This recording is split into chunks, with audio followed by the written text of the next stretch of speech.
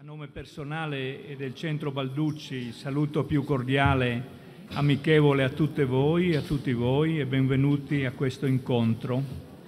Io solamente questo, esprimo questo saluto e poi, e poi sarà Luana eh, De Francisco che guiderà l'incontro. Questo convegno 27 del Centro Balducci quest'anno ha scelto e ne abbiamo riespresso le motivazioni giovedì sera, il tema, la questione della sicurezza. E come intuizione e proposta culturale, nel senso antropologico, abbiamo così prospettato che la sicurezza, giocando anche culturalmente sul termine sicura, si costruisce prendendosi cura dell'umanità che ogni persona che noi incontriamo, le nostre comunità, mai chiuse in visioni localiste, ma sempre aperte alla comunità planetaria, per citare il linguaggio di Padre Balducci a cui avevamo dedicato nel 92 questo centro, a cui noi apparteniamo. Questa simultanea appartenenza oggi è un tratto fondamentale per procedere in questa società. Sicura, ieri la professoressa Luigina Mortari de, dell'Università di Verona veramente ha comunicato una istruzione culturale ed etica straordinarie sulla cura, sulla cura, prendersi cura. Ecco, questo è stato il filo conduttore finora di questo convegno.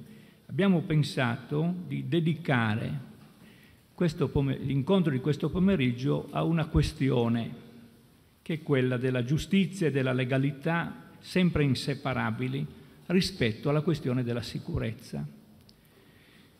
Ultim, negli ultimi mesi abbiamo con evidenza appreso, è stato confermato, che anche le regioni, chiamiamole del nord-est, di cui facciamo parte, non solo vedono infiltrazioni mafiose, ma presenze, presenze massicce,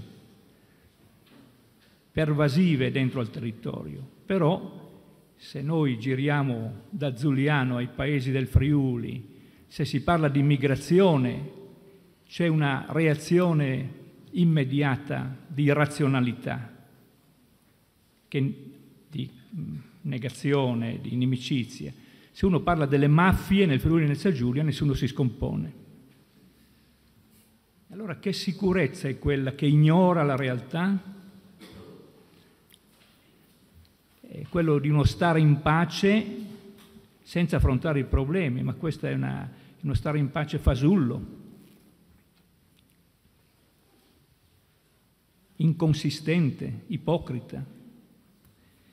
Allora noi abbiamo chiesto, collaborando ecco, con Libera, Informazione, abbiamo chiesto a queste tre persone se potevano aiutarci in questa riflessione e sono Floriana Bulfon che è della nostra terra, più vicino alla mia, Carnica, che a questa dove ci troviamo a Giuliano, perché è di Peonis originaria, Peonis, piccolo paese,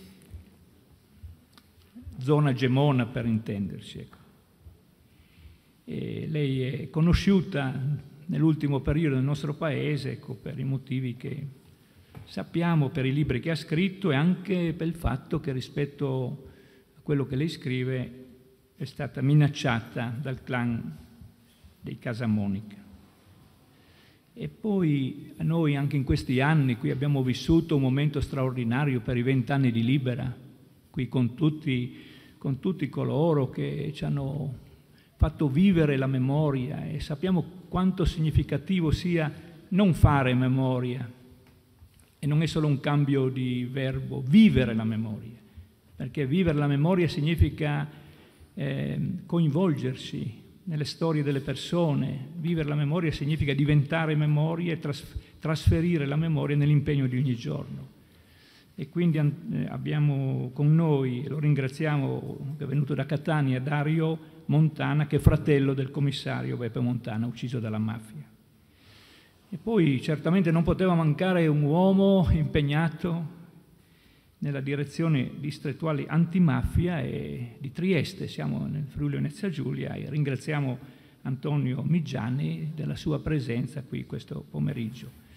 E questi tre ospiti importanti, graditi, a cui già esprimiamo in partenza la nostra riconoscenza, saranno guidati da Luana De Francisco, che è una giornalista che si, ha scritto anche lei un libro per cui è conosciuta sulle mafie nel nord-est, sta preparandone un altro e quindi così certamente sarà un incontro di profondo significato. Grazie a voi che avete accettato di stare con noi questo pomeriggio. Grazie.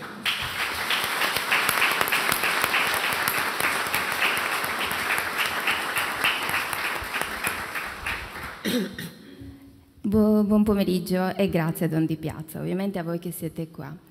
Allora, io vorrei cominciare con, considerato il tema che tratteremo, che trattiamo, vorrei cominciare con queste poche parole.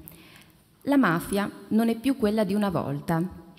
Forse qualcuno l'ha già visto, avrà riconosciuto, questo è il titolo del film uh, barra documentario che Franco Maresco ha portato um, alla Mostra del Cinema di Venezia, l'ultima, l'ultima edizione, e, e che ha ricevuto il premio speciale della giuria. È un'opera grottesca, l'ha definita il, il, regista, ma per i suoi personaggi, per i dialoghi, per le ambientazioni, ma è anche senz'altro sicuramente rappresenta un, um, un illuminante, diciamo così, de, dello stato in cui ci troviamo. La mafia non è più quella di una volta, dice, il tema è quello dell'antimafia, l'antimafia che è intesa e trattata in questo preciso periodo storico come un brand, cioè cavalcata, eh, viene cavalcato lo slogan della mafia e, e, viene utilizzato sia in contesti istituzionali sia nelle, nelle, fiction. Insomma ci si riempie la parola di mafia, tutti si riempiono la, parola, la, la bocca scusate, della parola mafia. E allora bene hanno fatto gli organizzatori sicuramente a calare in questo contesto, che ha come fil rouge il tema della sicurezza e della strumentalizzazione che si fa della sicurezza, anche il tema dell'antimafia e in parallelo della strumentalizzazione che si fa di questo che io definirei un presidio, l'antimafia un presidio sociale e istituzionale, a sua volta soggetta a strumentalizzazioni. Ed è un tema assolutamente concreto, è un problema concreto, un problema attuale, un problema dibattuto ed è dibattuto non soltanto, non mi riferisco soltanto in termini di eh, i soliti botta risposta eh, giornalistici, quindi le polemiche che sono, lo sappiamo tante volte, assolutamente inconcludenti e anche fuorvianti. No, è un tema, un problema, quello dell'antimafia strumentalizzata e deviata in qualche modo e che viene dibattuto anche in, nelle sedi che sono deputate a ragionare sulle ragioni, sull'origine di questa, eh, di questa eh, deriva che ha preso e di questa mistificazione. E mi riferisco in particolare alla Commissione parlamentare d'inchiesta antimafia che nella sua precedente composizione, eh, quella che era presieduta dall'onorevole Rosibindi, e di cui disponiamo adesso, della cui relazione finale siamo a disposizione, ha affrontato, approfondito il tema e proprio per, um, per, cercare di capire da dove, da dove, è partita, per cercare di vedere anche, di, di studiare l'evoluzione anche distorsiva per certi versi che ha avuto il fenomeno, quello che vi ho chiamato eh, presidio. E, e, per arrivare poi a quale conclusione, perché qual è il problema sostanziale? Che l'antimafia è diventato un terreno per ambizioni personali e quindi incarichi, prebende, eh, assegnazione di contributi, contributi anche pubblici, un terreno per eh, millantare conoscenze, posizioni e quant'altro e anche, finanche, un terreno dove avvengono collusioni e complicità proprio con gli stessi ambienti mafiosi. Non sono parole al vento, facciamo qualche esempio e poi sono esempi che sono già rimbalzati sulla stampa negli ultimi anni. Prendiamo come eh, questo succede da anni, da anni e eh, l'amico Dario ce lo racconterà. Ma restringiamo, per, per, non sforzare la memoria, il campo agli ultimi cinque anni, all'ultimo lustro, quindi 2014-2019. Almeno tre nomi li abbiamo sicuramente sentiti eh, alla, ai, tele, ai telegiornali. Uno Antonello Montante, Antonello Montante allora presidente di Confindustria Sicilia. E se ne sta ancora scrivendo e parlando perché ci sono processi in corso, anzi si è appena chiuso ma ci sarà l'appello. Silvana Saguto, Silvana Saguto già presidente della sezione misure di prevenzione del Tribunale di Palermo e Pino Maniaci, già direttore di una piccola emittente televisiva che però aveva il suo peso a Partinico, eh, Palermo, Teleiato. Tutti e tre si sono rivelati, sembrerebbero essersi rivelati, il beneficio del dubbio sempre, un blef, cioè gente che sulla mafia e sulla lotta al sistema ha marciato perché quel, quel sistema, quel, di quel sistema si, sono, si sarebbero resi partecipi. Allora capite che questo questa situazione ha delle conseguenze pesantissime, innanzitutto un problema proprio una questione morale e, e poi a cascata c'è la, la, la diffidenza no? che la gente, se voi, ci state ascoltando, voi uscirete di qua con questa idea un po' più rafforzata rispetto a uh, quelli che erano invece dei punti fermi. L'antimafia, l'antimafia sia sociale che istituzionale è un punto fermo ma perché vengono quindi a cadere o a, essere messi in dubbio eh, quelli che sono anche dei momenti simbolici no, del nostro paese. Dicevo Montante e quindi l'imprenditoria anti-racket, dicevo la Saguto e quindi il Tribunale di Palermo e quindi i beni confiscati, la fine che fanno i beni confiscati, dicevo Maniaci e quindi la stampa con la schiena dritta conseguenze gravi, delegittimazione e quindi bisogno, eh, per esempio anche attraverso incontri come questi, bisogna di fare una doppia, e che è quello che poi ha cercato di fare anche la Commissione antimafia, bisogno di da un lato individuare i personaggi, le mele marce no? della mala pianta e isolarli, allontanarli e laddove, laddove è possibile anche punirli penalmente e da un altro lato creare una rinnovata, cioè rinnovare la, una cultura civica del nostro paese collettiva, quindi ridare sosta, eh, sostanza vera eh, alla, all'antimafia, quella con la A maiuscola. Ed ecco perché è importante la voce dei nostri tre ospiti, perché ognuno per le proprie storie personali e professionali rappresenta, può darci un contributo e per capire e per eh, darci una risposta su come superare insomma, questo Partiamo proprio da Dario Montana, fratello del commissario Beppe, e che è anche rappresentante, lui arriva da Catania dove rappresenta eh, Libera, Libera contro le mafie e, e, sei anche il responsabile della memoria, del settore memoria di, di, di Catania per la provincia di Catania. Quando fu ucciso suo fratello, il 28 luglio del 1985, era eh, il capo squadra della squadra catturandi della squadra mobile di Palermo. Allora un, partiamo da questo, da questo, aneddoto, che poi aneddoto insomma non è da questa storia, da questa vicenda umana, e che Dario ha raccontato anche nel blog antimafie, di, ben, ben ricordato, una delle puntate del blog antimafie eh, scusate, di Attilio Bonzoni su Repubblica e, ed è la storia di un necrologio, un necrologio praticamente negato, respinto, su cui viene messo il marchio della censura da chi? Dal, dall'allora direttore, allora editore del giornale La Sicilia, eh, in Sicilia, dove il papà di Beppe e di Dario, eh, tre mesi dopo l'uccisione, si era recato per chiedere appunto, chiederne la pubblicazione.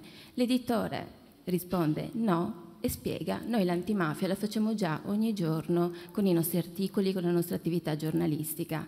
Quel signore lì adesso è, sotto, è a processo, è sotto processo con l'accusa di concorso esterno in associazione mafiosa. E Dario lo sa bene perché è reduce anche da una delle udienze. Ecco, a te il racconto. Sì, eh, proprio credo non siano passati più di dieci giorni da quando ho deposto come testimone al processo per concorso esterno in associazione mafiosa nei confronti di Mario Ciancio Sanfilippo, che è quello stesso Mario Ciancio eh, Sanfilippo, direttore, editore della Sicilia, a cui la Procura di Catania ha, ha avviato un provvedimento oh, enorme in parte per sequestro e parte di confisca eh, di una quarantina di attività imprenditoriali, compreso il giornale e le televisioni del, del giornale.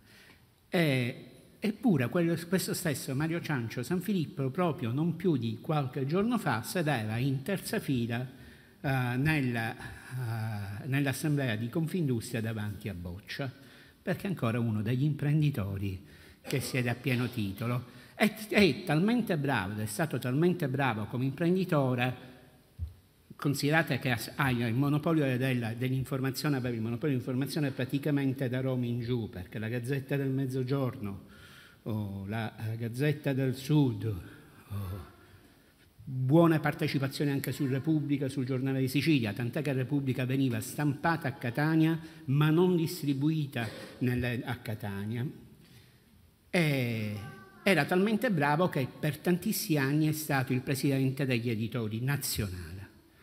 Questo è Mario Ciancio San, Filippo. La vicenda del necrologio è una uh, uh, vicenda assolutamente, come dire, uh, grottesca e banale. Immaginatevi mio padre che va presso i locali della Sicilia, dove c'è l'agenzia di pubblicità che si occupava della pubblicazione del necrologio a pagamento, riempie il suo modulo. E papà era una persona, mio padre era un direttore di banca, uno, la mia è una famiglia borghese, papà direttore di banca, la, la mamma casalinga, eh, però come dire molto oh, tosto, è molto attento all'uso delle, eh, delle, delle parole, quindi scrive eh, con rabbioso rimpianto, ricordiamo alla collettività il sacrificio di Beppe Montana, commissario di PS, rinnovando il nostro disprezzo alla mafia e ai suoi anonimi sostenitori. Papà voleva ricordare agli altri la morte e l'uccisione di Beppe, perché per noi, in, questi, in quei tre mesi, e anche oggi. La viviamo ogni giorno ovviamente, non abbiamo bisogno di ricordarlo noi, quindi dobbiamo ricordare agli altri. E quando presenta allo sportello questo oh, testo, l'ha detto allo sportello, che penso uno, che presumo che sia una persona per bene, una persona che vive del proprio lavoro, oh, lo guarda e gli dice ma questa cosa non può essere pubblicata, devo essere autorizzato oh, dal direttore va dietro lo sportello, torna dopo un poco dicendo guardi ho parlato direttamente con Mario Ciancio e con Corigliano, cioè il direttore del direttore, dice assolutamente no, non può essere pubblicato.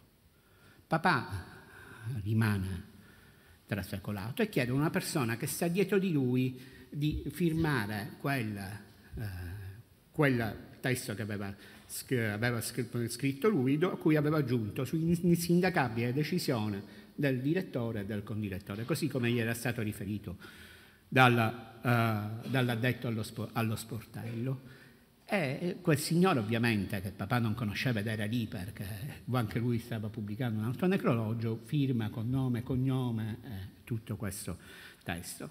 Le incredibili eh, vicende che seguono, eh, che sono anche oggetto, credo, della linea difensiva di Ciancio eh, nel processo, che ovviamente questo è semplicemente un momento, come dire, quasi di colore di quel processo, perché in realtà il processo per concorso esterno a Mario Ciancio San Filippo c'è ben altra roba, cioè si parla di tutti i centri commerciali, quindi del cambio di destinazione d'uso dei terreni di un'intera città che venivano stabiliti nello studio di Ciancio assieme ad appartenenti eh, di associazioni, come dire, anche mafiose. Immaginatevi che noi abbiamo sentito una sfida di pentiti, tra cui molti eh, palermitani di Cosa Nostra. Quindi se la vicenda fosse una vicenda locale di periferia, come mai tutte le vicende sono state riportate da pentiti e anche qualcuno che fa parte di altissimo livello come Di Carlo, oh, di Cosa Nostra palermitana,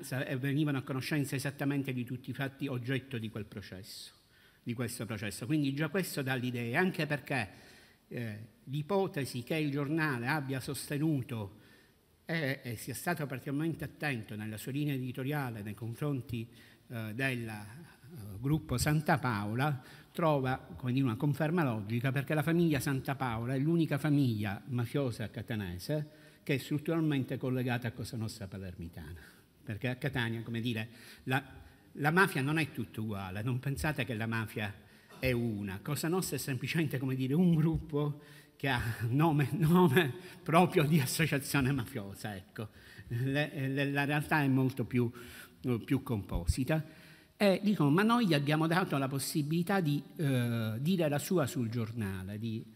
Ora voi immaginate mio padre allo sportello che si vede, con tutto il rispetto per chi lavora in quel giornale, cioè le cose, dall'usciere che gli diceva che diceva no, ma se vuole gli facciamo un'intervista, l'usciere, cioè una, un, una ipotesi che è assolutamente, come dire, veramente para, paradossale. Hai davanti eh, il padre di una persona che è stata uccisa tre mesi prima, nove giorni dopo l'omicidio di Beppe c'è stato l'omicidio di Ninni Casserà e Roberto Antiochia, no? e tu eventualmente, cosa che non è vero, non, non gli hanno mai proposto di fare, di fare queste interviste se non dopo, dopo, parecchio tempo, quando dire, noi non avevamo più voglia di avere rapporti con lo, ovviamente con quel, con quel giornale. Questo per dirvi l'arroganza del potere.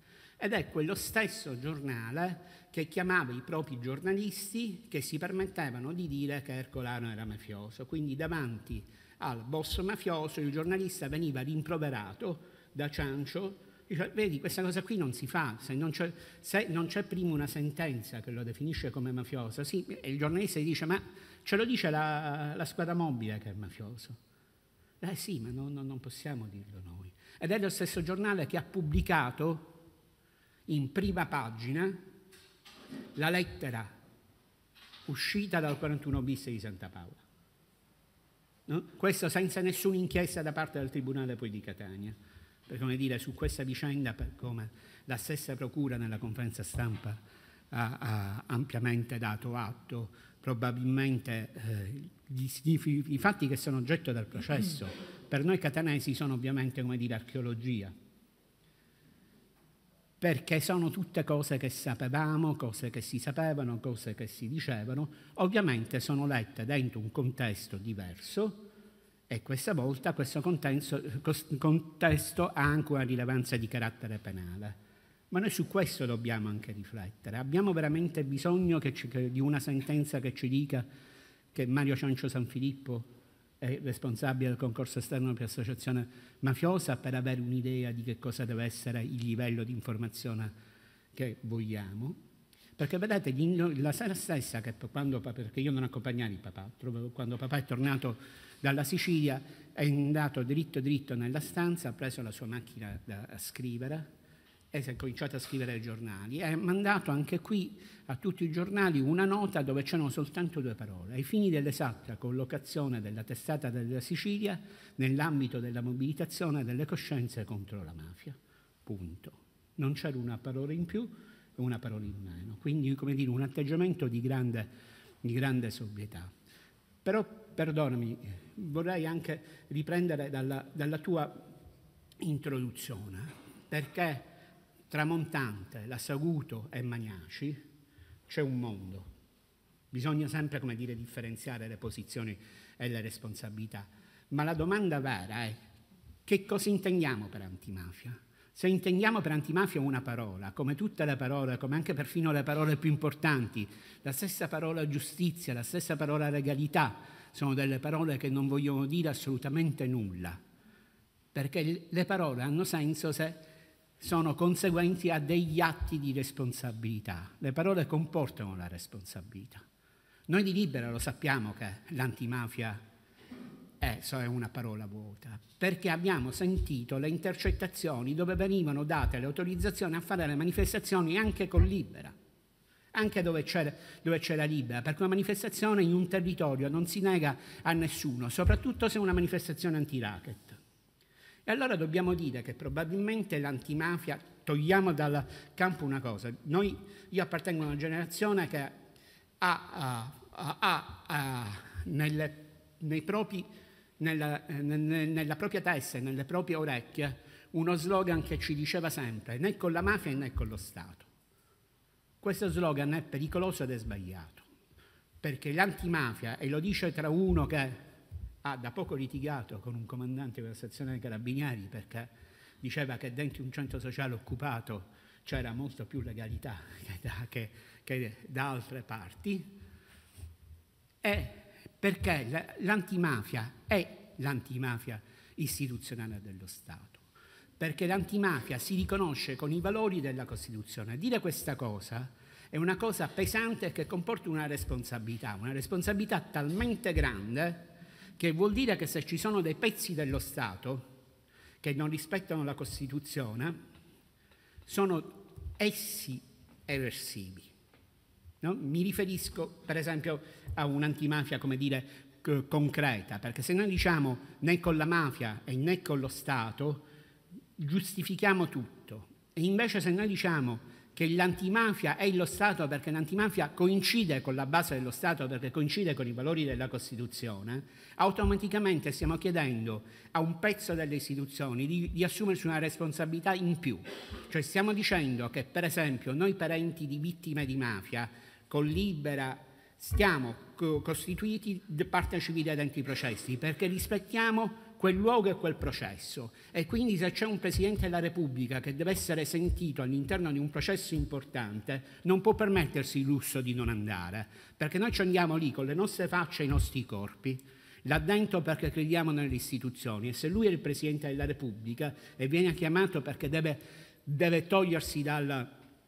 deve rispondere a dei magistrati come un testimone di una vicenda particolarmente complessa, non può, secondo me, neanche avvalersi delle facoltà di non è, perché i luoghi sono importanti, le istituzioni sono importanti e per questo lo dico e lo dico qui con grande forza, aver avuto un ministro degli interni che ha fatto quei decreti che io considero eversivi, eh, presumo che prima che la magistratura li avrebbe comunque portati all'esame di costituzionalità, perché ovviamente un magistrato non può non, non dire che, che, che, quelle, che quei testi normativi sono eversivi, perché un magistrato deve sempre rispettare la legge, anche quando non la condivide e quando la considera incostituzionale. Lì deve sollevare il problema di costituzionalità. Ma noi politicamente non siamo dei magistrati, non abbiamo questa responsabilità. Noi abbiamo la responsabilità politica e sociale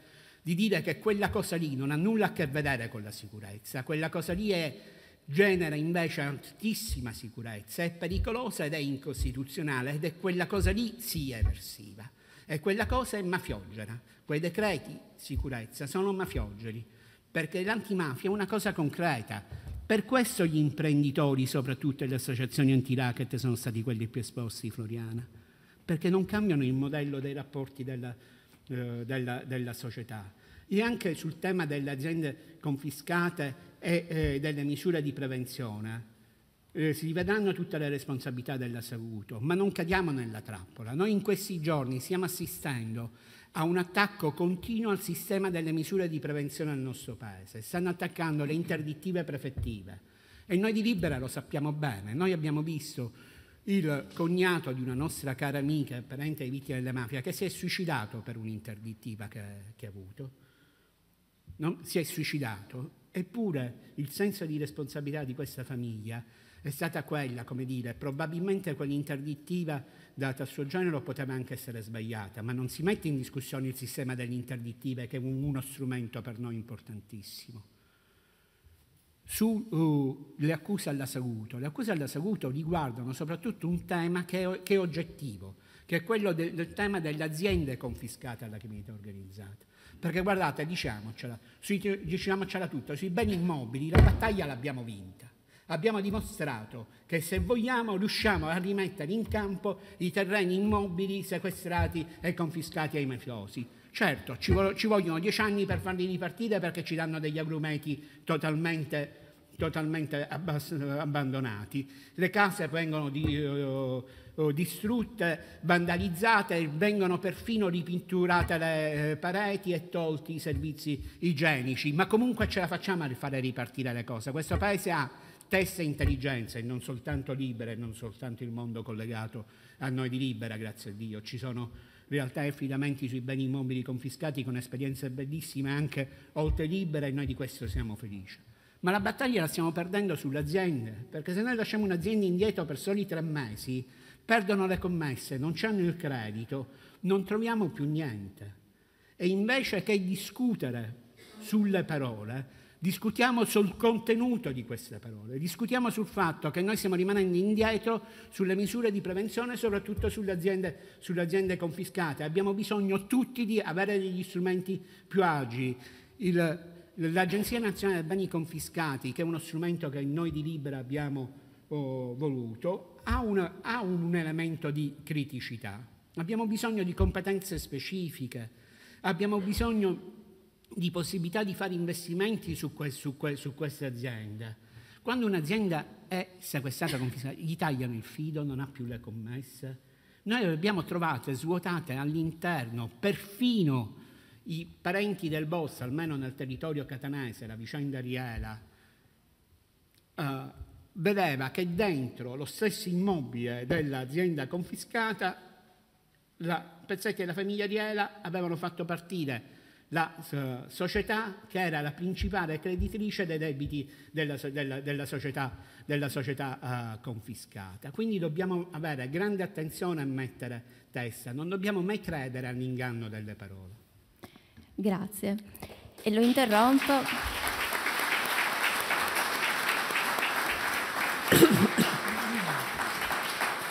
Lo interrompo perché abbiamo parlato di, di, stampa, abbiamo parlato in qualche modo di magistratura, ci manca il legislatore a questo tavolo, ma insomma, magari una prossima volta parliamo in assenza.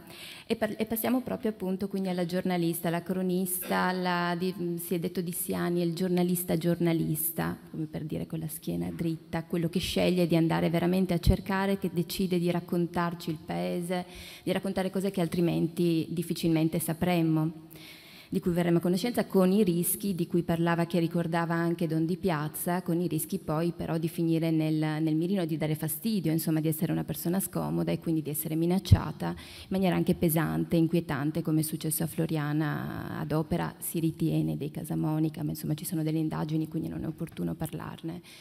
E, e con Floriana, proprio perché L'antimafia lei la fa con la penna, i giornalisti la fanno con la penna anche, e perché è una sentinella sul territorio, eh, proviamo a vedere il problema, la questione in controluce, cioè da un'altra prospettiva, cioè dal, eh, diceva Don Di Piazza prima, nessuno si scompone adesso, in Friuli Venezia Giulia si scopre che, ma nessuno si scompone, che c'è la mafia, c'è sempre stata, e il nord-est è infetto a sua volta.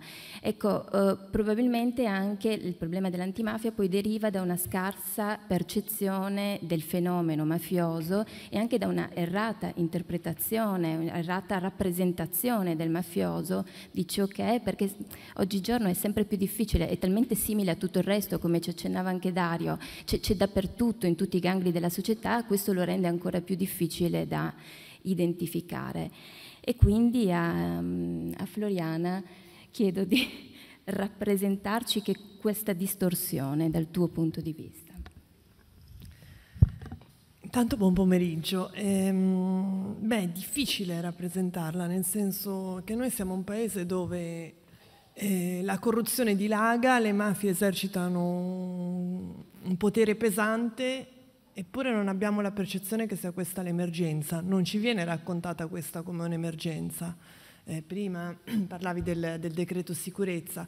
Noi viviamo, e lo dico anche per la nostra categoria, no? quindi quella che poi comunica, informa, viviamo di, di titoli eh, sull'invasione, viviamo di titoli sulla microcriminalità, sullo spaccio sotto casa, sull'allerta, eh, che può essere quella degli stranieri, dei migranti, mm, su, su cose che eh, sembrano ci debbano distruggere e non raccontiamo che la vera emergenza di questo paese è la mafia. Ehm, non lo raccontiamo per, a mio avviso, per molteplici motivi nel senso che il rischio ormai è di considerare le mafie come un fenomeno in parte superato, in parte ineluttabile. Siamo il paese delle mafie e quindi in qualche modo ce le, ce le teniamo e di non considerare mai quanto si facciano forti sulla povertà, sulle diseguaglianze, sull'assenza di diritti, un'assenza di diritti che noi non riusciamo nemmeno a comprendere di avere, di soffrire di un'assenza di diritti. Eh, è vero, mh, mm, come dire, eh, le mafie sparano il meno possibile, per un semplice motivo, devono fare affari, quindi non hanno nessuna necessità di creare allarme sociale, eh, di far sì che le forze dell'ordine, poi i magistrati, attivino tutta un, un, una repressione. Hanno altri strumenti molto più agevoli per operare. Eh, ci sono i soldi, le tangenti, eh, entrano nel tessuto sociale e procedono con, dire, con eh, le intimidazioni o, o, gli omicidi soltanto in estrema razio quando serve. I, i boss ormai sono nell'economia legale, eh, c'è un, un, capitalismo criminale che dire, sovverte tutte le regole del gioco imprenditoriale, per cui di fatto eh, le mafie plasmano il contesto in cui sono, non hanno bisogno di interfacciarsi come qualcosa di diverso da noi, sono in mezzo a noi. E, ehm, se noi pensiamo a uh, tutte le volte che evitiamo i controlli, penso, mh, mm, penso per esempio allo sblocca cantieri, eh, al dire abbiamo bisogno di opere veloci, subito, e quindi chiudiamo un occhio se non possiamo procedere proprio del tutto con le interdittive, con i controlli, eh, perché ci serve lo sviluppo. Eh, questo vale, eh, vale anche per, per, questa terra, pensate, eh, e per tutto il nord in particolare in questo momento, pensate allo smaltimento dei rifiuti. Eh, abbiamo camion che la 1 praticamente è una grande autostrada della monnezza perché girano i camion che da sud arrivano a nord, dopodiché eh, improvvisamente ci troviamo gli incendi. Dice com'è che si incendia il capannone? Si incendia il capannone perché eh, prima eh, la plastica finiva in Cina, una grande pattumiera dove mandavamo tutto, la Cina a un certo punto dice no, non la vogliamo più. E come si fa? E allora l'imprenditore chiude un occhio e arriva un signore che dice io te lo risolvo il problema, lo porto in qualche capannone abbandonato, quelli della crisi che sono rimasti vuoti, ci buttiamo dentro tutta la plastica e lo incendiamo.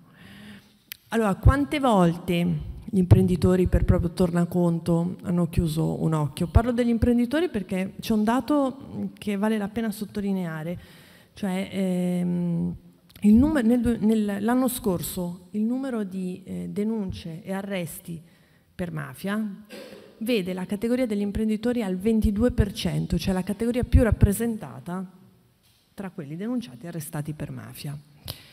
E, ehm, però questo stesso tessuto è un tessuto che ci riguarda tutti e che ci sembra invece eh, che non ci appartenga.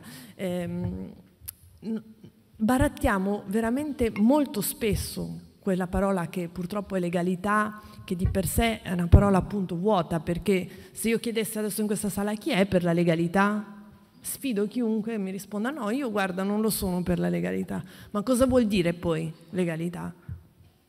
Cioè concretamente cosa fai per la legalità? Quante volte invece ti è più comodo appunto girare la testa dall'altra parte perché per il tuo piccolo affare per la tua piccola cosa va bene così. Ed è su questo che si nutrono. Per questo non occorre che arrivino, eh, certamente non più con la coppola all'aeropara, ma nemmeno con le armi spianate, no? Non occorre che arrivino dicendoti adesso ti brucio il negozio, c'è anche questo, ma trovano un contesto che è quello in cui eh, il potere economico è quello che conta. Quello che succede è che eh, tutti noi, eh, sempre di più, avvertiamo, è cambiata proprio la percezione morale, non, abbiamo, non percepiamo il disvalore di fare affari con i clan, perché il clan non ha quella rappresentazione lì, è il Signore che ti sta aiutando per il tuo negozio, per la tua impresa, per la tua assunzione, e quindi va bene. E Dall'altra continuiamo a dire, mm, e questo eh, capita spessissimo, che la mafia da noi non c'è. Non lo può dire un siciliano eh, perché, perché, ha passato le stragi, ha passato anche appunto la costruzione di un'antimafia sana che ha fatto un percorso. Ma il, non solo il nord, penso a Roma, posto dove la mafia sono le altre, sono quelli del sud che sono venuti qua a investire, a riciclare, loro, non noi. E mh, mm, lo fai un po' perché non vuoi sporcare il buon nome. Ricordo Roma è successo che mh, mm, per Mafia Capitale, che è una mafia romana, no? non è che non era né l'andrangheta né Cosa Nostra né, né i casalesi, eh, quando c'è stata la, adesso fra poco ci sarà la sentenza di Cassazione, ma quando c'è stata la sentenza di primo grado non viene riconosciuta l'impianto dell'accusa di associazione mafiosa, ma quello di corruzione. E c'è una parte significativa della città, non necessariamente che aveva fatto affari col signor Massimo Carminati o con Salvatore Buzzi, una parte della città che va dall'imprenditore, eh, il politico, il giornalista, ehm, l'intellettuale, quindi le categorie professionali non, non sono, sono, varie e anche l'estrazione come dire, culturale di queste persone che dice meno male, è corruzione. Tra l'altro le pene erano più alte di quelle poi in secondo grado che riconoscono l'associazione mafiosa. Va bene, perché alla corruzione si nega nessuno in questo paese. Va bene, quello ci siamo abituati, ma mafia no. Mafia non si può dire. E, anche qui, al di là della parte repressiva, ovviamente dei processi che poi attestano dicono tutto, anche noi giornalisti non siamo, non siamo i magistrati, non possiamo raccontare, e qui vengo anche al ruolo della stampa, non possiamo raccontare un'ordinanza, perché l'ordinanza eh, dei magistrati eh, fotografa delle indagini, poi fatte dalle forze dell'ordine, e gli aspetti intanto che, che, reggono in un processo, altrimenti non lo porterebbero in accusa, ma fotografa una realtà che è di due, tre, quattro, a volte purtroppo per i tempi della giustizia anche di più, anni prima. Eh, noi viviamo adesso, eh, non quattro anni prima. Quindi il ruolo della stampa è quello di raccontare quello che tu stai vedendo adesso. E, e, questo molto spesso manca, molto spesso manca perché eh, appunto ci si sofferma su una rappresentazione che è quella dell'emergenza, della sicurezza, del problema, del microproblema che deve essere necessariamente fatto diventare grande, che è molto facile da raccontare perché... Ehm, raccontare lo spaccio sotto casa, raccontare il fatto di cronaca nera ehm, e renderlo, mh, mm, come dire, appetibile, mh, mm, quasi come se fosse un'operazione di marketing per il lettore, è molto semplice, è molto più complicato andare in un territorio, raccontare chi veramente comanda, eh, attaccare i poteri forti che possono essere il mafioso che controlla un quartiere o magari il mafioso che se ne sta in un bel palazzo istituzionale che sta con la giacca e la cravatta, eh, quello è più complicato da spiegare e anche da fare e quindi in questo c'è la necessità. Poi c'è un altro aspetto eh, che accade sempre di più, che è un aspetto classico delle mafie, ma che eh, io lo racconto perché eh, riguarda particolarmente i Casamonica quindi di quello di cui mi sono occupata nell'ultimo periodo, eh, che è il welfare criminale che le mafie mettono in piedi. Eh, si fanno forti appunto da, di quell'assenza di diritti e si fanno forti, approfittano del, del vuoto in cui le istituzioni lasciano interi quartieri e popolazioni che sono persone che sono sempre più annichilite. Eh, per i Casamonica mh, è un vortice, anche i Casamonica sì sono violenti, menano, minacciano, ma non è che fanno solo questo, non sono né soltanto i cavalli dorati dentro la cucina di casa ad altezza naturale, né sono solo eh, la testata o picchiare. Sono, perché se no continuiamo a ridurre tutto a stereotipo e a folklore. I Casamonica sono, un, sono mafia e sono un clan che tratta direttamente con i narcos colombiani o con il gota dell'andrangheta, cioè la famiglia Strangio, che è quella della strage di Duisburg. Non possiamo ridurli perché è molto facile rappresentare soltanto la violenza, non sono soltanto questo. Hanno saputo dosare molto bene violenza, soldi e raccomandazioni e l'hanno fatto in una città che è Roma, che ha piegato la testa dalla periferia al centro davanti a un unico valore, che è il denaro. E loro ne hanno tanto. Allora, quello che succede è che loro in un vortice arraffano tutto, dal ristorante in centro all'assegnazione della casa popolare e se tu abiti in un quartiere dove la casa popolare, la graduatoria te la fa il Casamonica, è lui l'autorità. Se eh, di pochi giorni fa la sentenza con degli ergastoli per, eh, per gli spada, quelli di, diciamo i cugini dei Casamonica di Ostia per capirci, ehm, la palestra gestita da Roberto Spada in un quartiere di Ostia, è un posto eh, dove ci vanno i bambini, ci, ci andavano i bambini eh, a fare pugilato, a fare danza. Tra l'altro ehm, educando anche i bambini a, ehm, dire, a, saper picchiare bene, alcuni di loro poi a fare i recuperi crediti appena cresciuti un po'. Perché se vai a fare il recupero crediti e sai menare, diciamo, è più facile che tu ottenga i soldi. Ma io ricordo che il giorno della, della chiusura di, di, quella palestra, um, una mamma disse, va bene tutto, sarà pure mafioso, ma io mia figlia dove la mando a danza? E quello c'è, perché lì non c'era nessun'altra palestra, nessun'altra scuola di danza, nessun altro servizio, nulla, il vuoto ed è in quel vuoto che si inseriscono. A, a Torbella Monaca, che è un quartiere di Roma, che anche qua non è solo lo stereotipo di un posto dove si spaccia 24 ore su 24, ma c'è anche della gente normale che ci vive e va a lavorare, perché appunto le cose si mischiano nell'alto e nel basso. Però Torbella Monaca ha una strada che via dell'archeologia, è lunga più o meno un chilometro, attorno ci sono delle case che sono di edilizia popolare tirate su alla alla peggio più che eh, alla meno peggio, eh, negli anni Ottanta. Sotto questa strada, in un chilometro, ci sono cinque piazze di spaccio. Le piazze di spaccio, che in una città come Roma sono 100, funzionano su tre turni, mattina, pomeriggio, notte.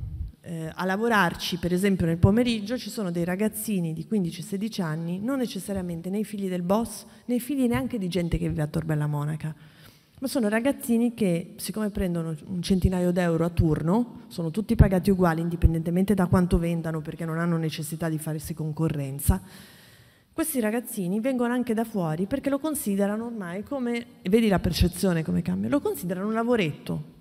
Cioè invece di andare, non so, a fare il barista, il cameriere la sera, te ne vai a fare il palo o a spacciare a Torbella. In questo contesto eh, un, um, in un dialogo due trafficanti del posto, in questa industria che prevede ovviamente il palo, la vedetta, il caposcala, il capopiazza, il rappresentante fino a chi traffica davvero e fa arrivare la roba, due tra loro parlano e parlano di, una, di, un altro che fa il loro stesso mestiere, cioè traffica droga ad alto livello. Dice, lo sai che intelligente Bruno? E uno dice, ma perché Bruno? Perché dici che è intelligente? Beh, perché intanto qua ha pulito tutte le aiuole, poi aiuta la vecchietta a, tirar su, a portare la spesa, perché lì ci sono i, gli ascensori, ma eh, non funzionano mai perché dentro c'è la droga, le armi, insomma sono utilizzati per altro, e poi quando servono eh, quei 50 euro per fare la spesa che non ce l'ha, lui glieli dà. Allora loro si confrontano e dicono, e in effetti è intelligente sì, perché la gente dove hai la piazza di spaccio ti deve voler bene, perché la vecchietta non chiamerà le forze dell'ordine e sono loro a sostituirsi a quello che è la rappresentazione di uno Stato sociale di, di, delle istituzioni. Allora è lì che devi ricostruire. Quello che è accaduto, abbiamo assistito a ehm, diciamo, delle recrudescenze soprattutto nelle, nelle periferie, eh, quando a un certo punto, eh, non so, penso agli abitanti di Torre Maura, l'avrete visto in televisione eh, o, su, o letto sui giornali, dicono a queste persone, qui adesso arriveranno dei rom, qui arriveranno degli stranieri e quelli dicono io vivo a Torre Maura, già non c'è niente, ma mi devi mandare, portateveli ai parioli, insomma, portateveli in un posto più chic eh, teneteveli voi che noi non li vogliamo. Queste periferie sono state fortemente sobillate da eh, alcune componenti di estrema destra, penso chiaramente a Casa Pound e a Forza Nuova, eh, che eh, alimentavano le persone, l'odio di queste persone. Sono le stesse formazioni politiche che fanno i pacchi alimentari, l'aiuto alla vecchietta, le stesse identiche cose. Sotto le torri di Torbella Monaca o di Torre Maura, addirittura all'ingresso di Torbella Monaca c'è un, una mega scritta con scritto azione frontale e poi sotto ognuno di quei posti di spaccio c'è Forza Nuova e simboli di Forza Nuova. Eh, non ho mai visto uno di Forza Nuova andare dagli spacciatori anche se fanno le passeggiate per il degrado. Adottano però un metodo che è quello di e sono anche riusciti ad avere, insomma, a trovare un consenso sociale ovviamente, eh, che è quello di mh, cercare di dire, offrire dei servizi a queste persone che non ce l'hanno. Eh, in, in, quei giorni un ragazzino, è rimasto, c'è rimasto quel ragazzino che eh, a me non mi sta bene che no, no, è un ragazzino che a un certo punto dice io non ci sto a questa cosa qua. Ma negli stessi giorni c'era un ragazzino che appartiene alla famiglia dei Casamonica, insomma il padre è un uomo a mio avviso mafioso, anche se poi si aprirà un processo a breve su questo, ehm, 13 anni. E lui era lì, in questo campo di cemento, guardando tutta questa confusione, e mi ha detto, io non ce l'ho né con questi rumeni, né con questi albanesi, né con questi neri, io ce l'ho con i poveri, io sono razzista con i poveri. E nella sua rappresentazione di tredicenne, figlio di un mafioso e cresciuto in una cultura mafiosa, eh, era però estremamente allineato agli altri ragazzini, perché quel valore, gli altri tra l'altro lo guardavano perché aveva i piedi delle Balenciaga da 500 euro, quindi ambivano a, a, potersi permettere gli stessi vestiti, eh, c'era quella totale, ehm, come dire, Mm, solidità data dall'aspirare ad avere denaro, che appunto ti permette, poco importa se ottenuto eh, con l'impunità, che ti permette di ostentare, in quel caso di portarti ai piedi quelle scarpe, ma varrebbe per mille altre cose, e dall'altra l'incapacità di comprendere quanta necessità ci sia di pretendere quei diritti, pretendere quell'aiuola, pretendere un, la palestra non fatta da, dal Casa Monica, pretendere di avere la casa popolare per conto proprio,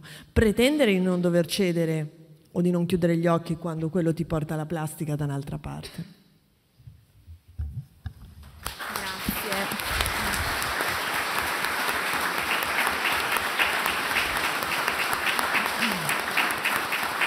Grazie Floriana. Adesso Prima di chiedere al dottor Migiani come reagirebbe la, la, vecchina, a differenza di quella di Roma, come reagirebbe la vecchina friulana di fronte ad un'evidente illegalità, e, um, vi racconto brevissimamente un aneddoto mio eh, che, mi fatto, che, mi hai fatto ricordare tu Floriana, il discorso della corruzione, corruzione, ah beh, meno male, lettura della, della sentenza di primo grado, mafia capitale, ah beh, meno male, corruzione, basta che non sia mafia. Qualche mese fa in provincia di Pordenone è stato invitato dal, dal comune eh, un ex, eh, ex detenuto, eh, un ex criminale, lui voleva essere chiamato così, comunque un componente della mafia del Brenta, che ha finito di scontare, sta finendo di scontare 35-36 anni di reclusione per tutta una serie di reati legati alle scorribande che facevano in Veneto e in Friuli Venezia Giulia e io dialogavo con lui sul palco e all'anima la cosa a cui più teneva, che, eh, più, più teneva, a sottolineare era il fatto che lui non fosse mafioso. Quella non è mafia del Brenta, al contrariamente a come ha stabilito eh, la sentenza del Tribunale giunta in terzo grado, terzo grado di giudizio, eh, e diceva, certo, eravamo, eravamo un po' scapestrati, insomma, eravamo Vabbè, facevamo rapine, abbiamo ucciso, lui quattro, quattro omicidi ha sul, sul groppo, però non eravamo mafiosi, perché è un sigillo, è, è, un, è un, sigillo eh, che, che, equivale a un'onta, cioè noi non vogliamo appartenere a quella razza, quando invece poi tutto l'impianto accusatorio ha dimostrato che c'erano le caratteristiche per parlare di associazione a delinquere di stampo mafioso. Veniamo alla vecchina del Friuli Venezia Giulia. Allora, il eh, dottor eh, Antonio, eh, Antonio Maggia, Migiani, mi scusi, prima di arrivare a Trieste, direzione distrettuale antimafia di Trieste, eh, ha, avuto, ha, frequentato altri eh, uffici giudiziari. Dopo l'uditorato a Venezia, eh, la prima assegnazione è stata proprio in Sicilia, a Siracusa, in tribunale, ha svolto due anni come giudice ed era la Sicilia delle guerre di mafia e poi successivamente è tornato in Veneto, a Venezia, e quindi il Veneto di Felice Maniero, eh, non, non, conosco bene la tempistica, comunque anni 90, sappiamo poi c'è stato il pentimento o il simil pentimento, e poi è arrivato alla direzione di settore antimafia di Trieste. Quindi, che, quindi un percorso nelle due Italie, no? due Italie completamente diverse, mh, anche dal punto di vista criminale, della storia del romanzo criminale del nostro paese. E allora al dottor Migiani chiediamo che quanto dif- differente è l'approccio, del, anche, anche, ecco, quanto differente è l'antimafia da una parte all'altra. Intanto buonasera a tutti. Sì, la mia esperienza professionale eh, inizia proprio a Siracusa dopo il periodo di tirocinio, quando si entra in magistratura si fa un anno di praticantato e lo si fa nella sede di residenza. Io sono di Venezia, quindi dopo circa un anno e mezzo, dopo la scelta della sede, dovuta anche al punteggio perché eh, si sceglie in base alla, alla, collocazione nella graduatoria nazionale, per cui il primo, alla, due, supponiamo che ci siano 200 sedi giudiziarie, allora il primo del concorso ha 200 possibilità, l'ultimo è costretto ad andare a Gela. Ecco, questa è la situazione. ecco, funziona così. Vabbè, io comunque non ero messo tanto male, nel, avrei potuto anche rimanere nel Veneto se avessi voluto. Avevo anche pretura di Monselice, pretura di Este, però ho voluto fare un'esperienza diversa. E ho voluto cambiare completamente e dire ma facciamo un salto di mille chilometri, anzi forse sono di più, forse sono anche 1300, 1500, che è molto, molto distante Venezia da Siracusa, eh? anche per i collegamenti che non, sono, che non sono il massimo, anche se però c'era un treno diretto eh, che c'era Venezia, Mestre e Siracusa, eh, in, in, unica soluzione, quindi qualche volta ho preso anche quel treno. Un'esperienza sconvolgente per me. E io insomma sono nato a Venezia, ma eh, nel Veneto come anche nel Friuli eh, la mafia non assolutamente nessuno ha percezione della mafia perché è un fenomeno in realtà che non, non esiste, che non esisteva o non era eh, percepito come invece eh, viene percepito in Sicilia. E quindi per me è stata una, una realtà sconvolgente, ecco, ho, ho, conosciuto una realtà completamente diversa, quindi dopo aver fatto un anno e mezzo di, di tirocinio a Venezia, assumo le funzioni di giudice penale, quindi magistratura giudicante, poi tutta la mia carriera successiva è stata nella requirente, cioè pubblico ministero, però ho iniziato come, come giudice e, e veramente mi sono trovato in un ambiente diverso, ma anche l'ambiente giudiziario era diverso, anche i giudici erano diversi, anche i cancellieri erano diversi. Cioè, era, sembrava di essere in un altro mondo, cioè, come se uno passa da, non so, abituato alla Svizzera e va in Libano, supponiamo, no? o va in Libia. Cioè, veramente io ho percepito una differenza enorme. e E diciamo che sia proprio la percezione, all'epoca, sto parlando del 1988, quindi sono passati ormai più di 30 anni, proprio si aveva questa percezione della presenza della criminalità mafiosa, che era una criminalità feroce, una criminalità violenta, una criminalità che non, esitava a sacrificare la vita umana.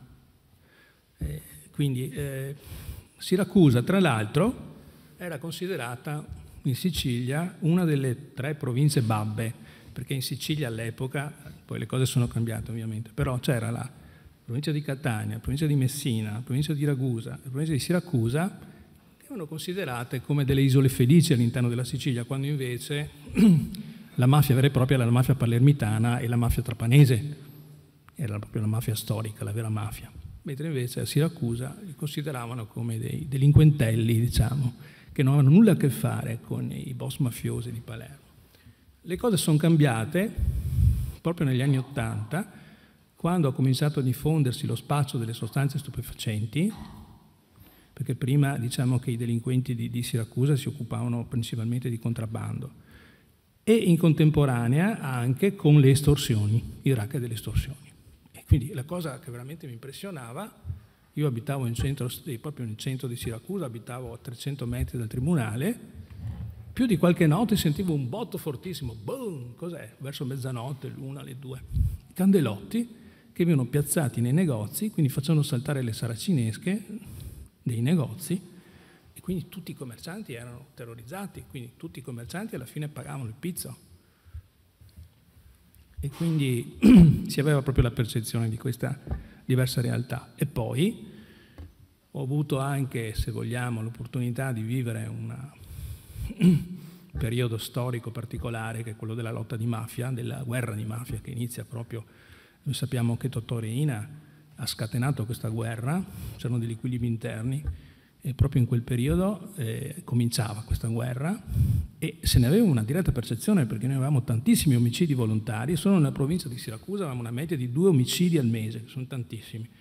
Avevamo dei killer mafiosi che arrivavano con la motocicletta e sparavano al componente del clan rivale, quindi molti omicidi avvenivano proprio nei bar, perché nei bar stazionavano diciamo, questi, eh, diciamo, questi, chiamiamoli, mafiosi, ecco, questi appartenenti ai vari gruppi. C'erano tre gruppi, tre clan che si combattevano, eh, c'era il clan Rizza, il clan eh, Belfiore e il clan Schiavone.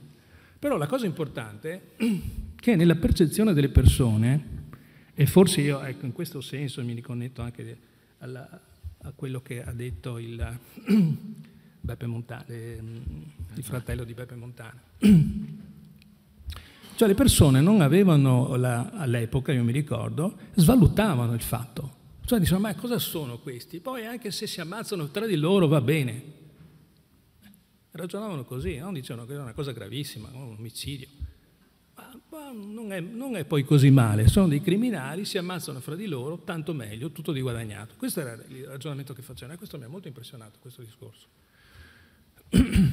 Quindi una situazione completamente diversa dove non c'era, a mio giudizio, una percezione della, della legalità e d'altro canto però c'è anche una giustificazione di tipo umano, a mio giudizio, perché è facile parlare di, contro la mafia, dire antimafia, no? Però se io vivo in un paese dove ci sono dei killer che uccidono, dove so che se io mi espongo posso essere o subire delle gravi conseguenze, a quel punto qual è la mia scelta umana? Non tutti siamo eroi e non credo che sia anche giusto pretendere che noi siamo eroi, ci sono gli eroi.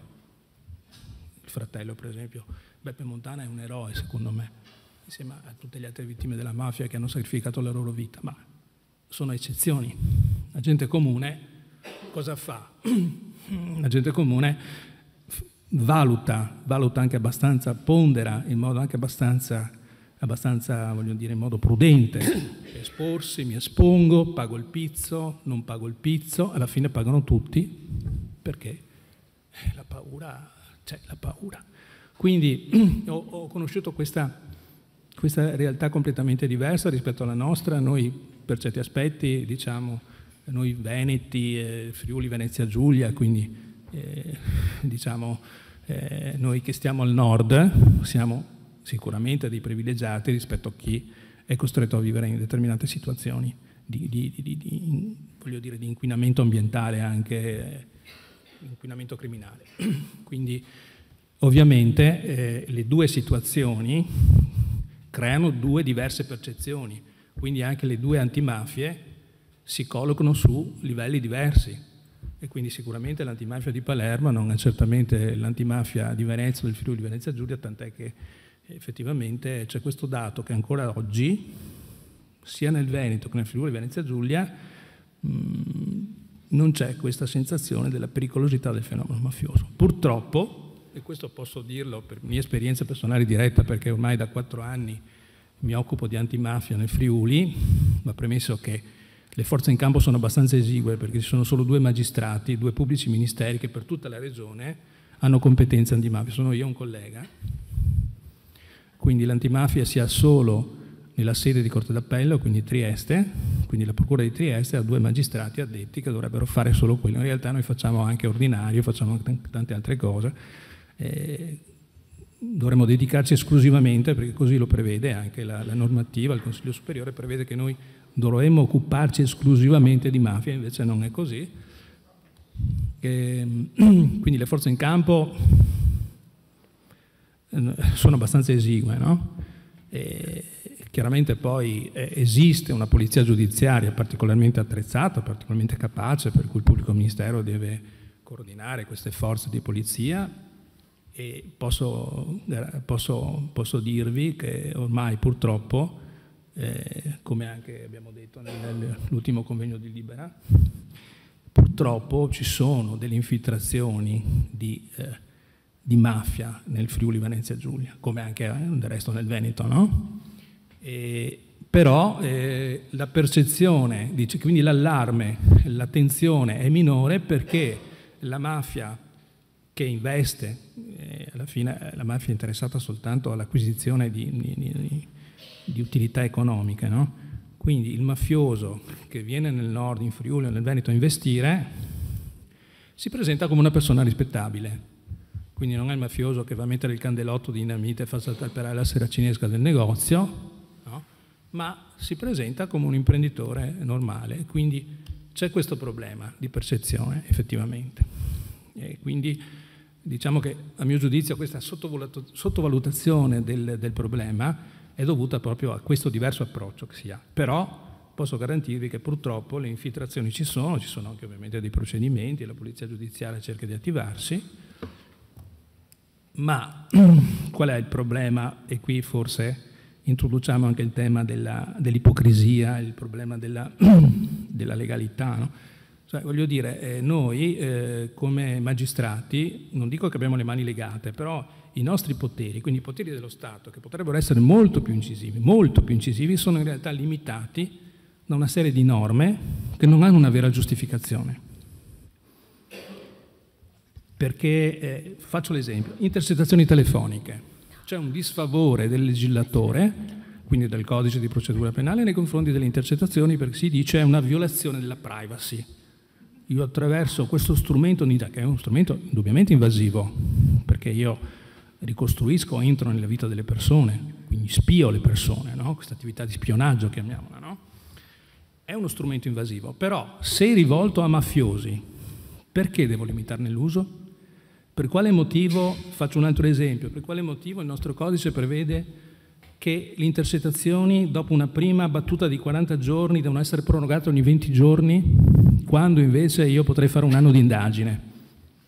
Questo cosa comporta? Comporta tutta una serie di, una sorta di burocratizzazione della procedura, per cui intanto io faccio meno intercettazioni di quelle che potrei fare, no? Perché se non ci fosse, per esempio, una norma che dicesse che ci fosse una corrispondenza tra la durata del, dell'indagine e la durata dell'intercettazione, una volta che il giudice riconosce che esiste un indizio di reità, che ci sono quindi dei fondanti elementi in base ai quali il pubblico ministero chiede di svolgere un'attività captativa intercettiva, a quel punto non si capisce per quale motivo ogni 20 giorni io devo fare la richiesta al giudice, scrivere, e il giudice deve fare un provvedimento di proroga. Questo cosa comporta? Comporta un dispendio notevolissimo in, eh, di attività sia da parte di tutti gli operatori, quindi magistrati, cancellieri, gli stessi ausiliari del pubblico ministero, quindi c'è tutta una serie di attività, quindi abbiamo una burocratizzazione forzata che a mio giudizio non risponde a quella che deve essere un'esigenza, un'esigenza primaria, e cioè quella della lotta alla mafia. Quindi, di fronte alla lotta alla mafia, di fronte ai mafiosi, lo strumento dell'intercettazione è fondamentale perché tutte le indagini eh, di, della, della, diciamo, DDA, che sarebbero le indagini della, della, procura, della, procura, distrettuale, quindi della procura di Trieste, eh, quindi in generale, insomma, tutte le attività di indagine delle, delle direzioni distrettuali antimafia, che sono appunto quei settori che vi dicevo della procure, delle procure eh, capoluogo di distretto che si devono occupare delle mafie a livello regionale, eh, ovviamente è, è uno strumento fondamentale. Tant'è che io sono molto preoccupato per il fatto che sembra che il nuovo governo voglia riesumare una riforma, la riforma Renzi, che per fortuna non era entrata in vigore e che il ministro Bonafede era riuscito a stoppare, proprio sulle intercettazioni, per cui si introducevano dei, tra l'altro norme scritte malissimo, norme faraginose, norme di impossibile inter- di interpretazione, sembrano proprio delle norme finalizzate a bloccare l'attività. Che scopo hanno queste norme? E io su questa domanda la interrompo perché tanto poi ci torniamo. Ecco, quindi io finisco qui e non voglio neanche sì. infierire più di tanto perché non vorrei prendere qualche denuncia e dire a ah, questo pubblico ministero. No, ma...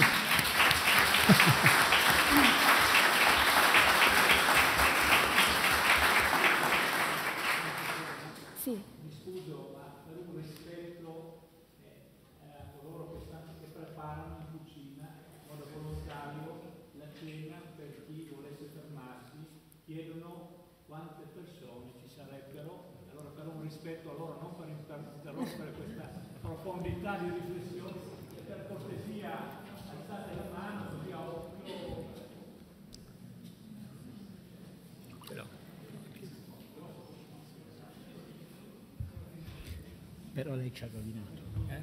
Lei ci ha rovinato. Perché quello che è rimasto in uh, procura a Siracusa, no, no. lei se n'è andato, eh, ma quando c'è eh,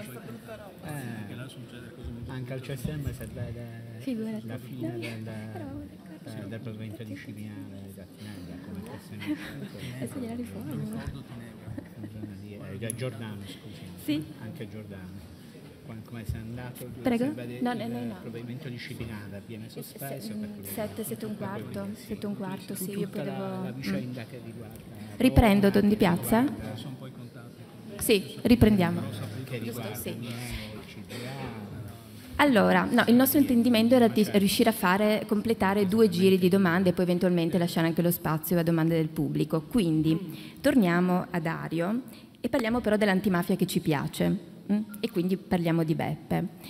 Perché Beppe è Montana è un poliziotto che si è, invent- è un poliziotto anche un po' stato un precursore sotto certi punti di vista, perché si è inventato la squadra catturandi e quindi ha catturato un sacco di latitanti e poi era insomma un, un operatore mh, mm, sul campo e quindi ha trovato raffinerie di droga, depositi di armi e appunto gli arresti, ma e tutto questo non lo faceva perché si sentiva un eroe, assolutamente no, lo faceva perché credeva nel suo lavoro, al punto tale da inventarsi anche un'altra cosa, cioè da avere l'intuizione di dire ma cerchiamo però di fare i poliziotti che vanno in mezzo alla gente, cioè andiamo a parlare a chi, soprattutto ai giovani, facciamo capire che cosa stiamo facendo, perché lo stiamo facendo, raccontiamo chi sono i mafiosi, ma raccontiamo anche chi sono i poliziotti.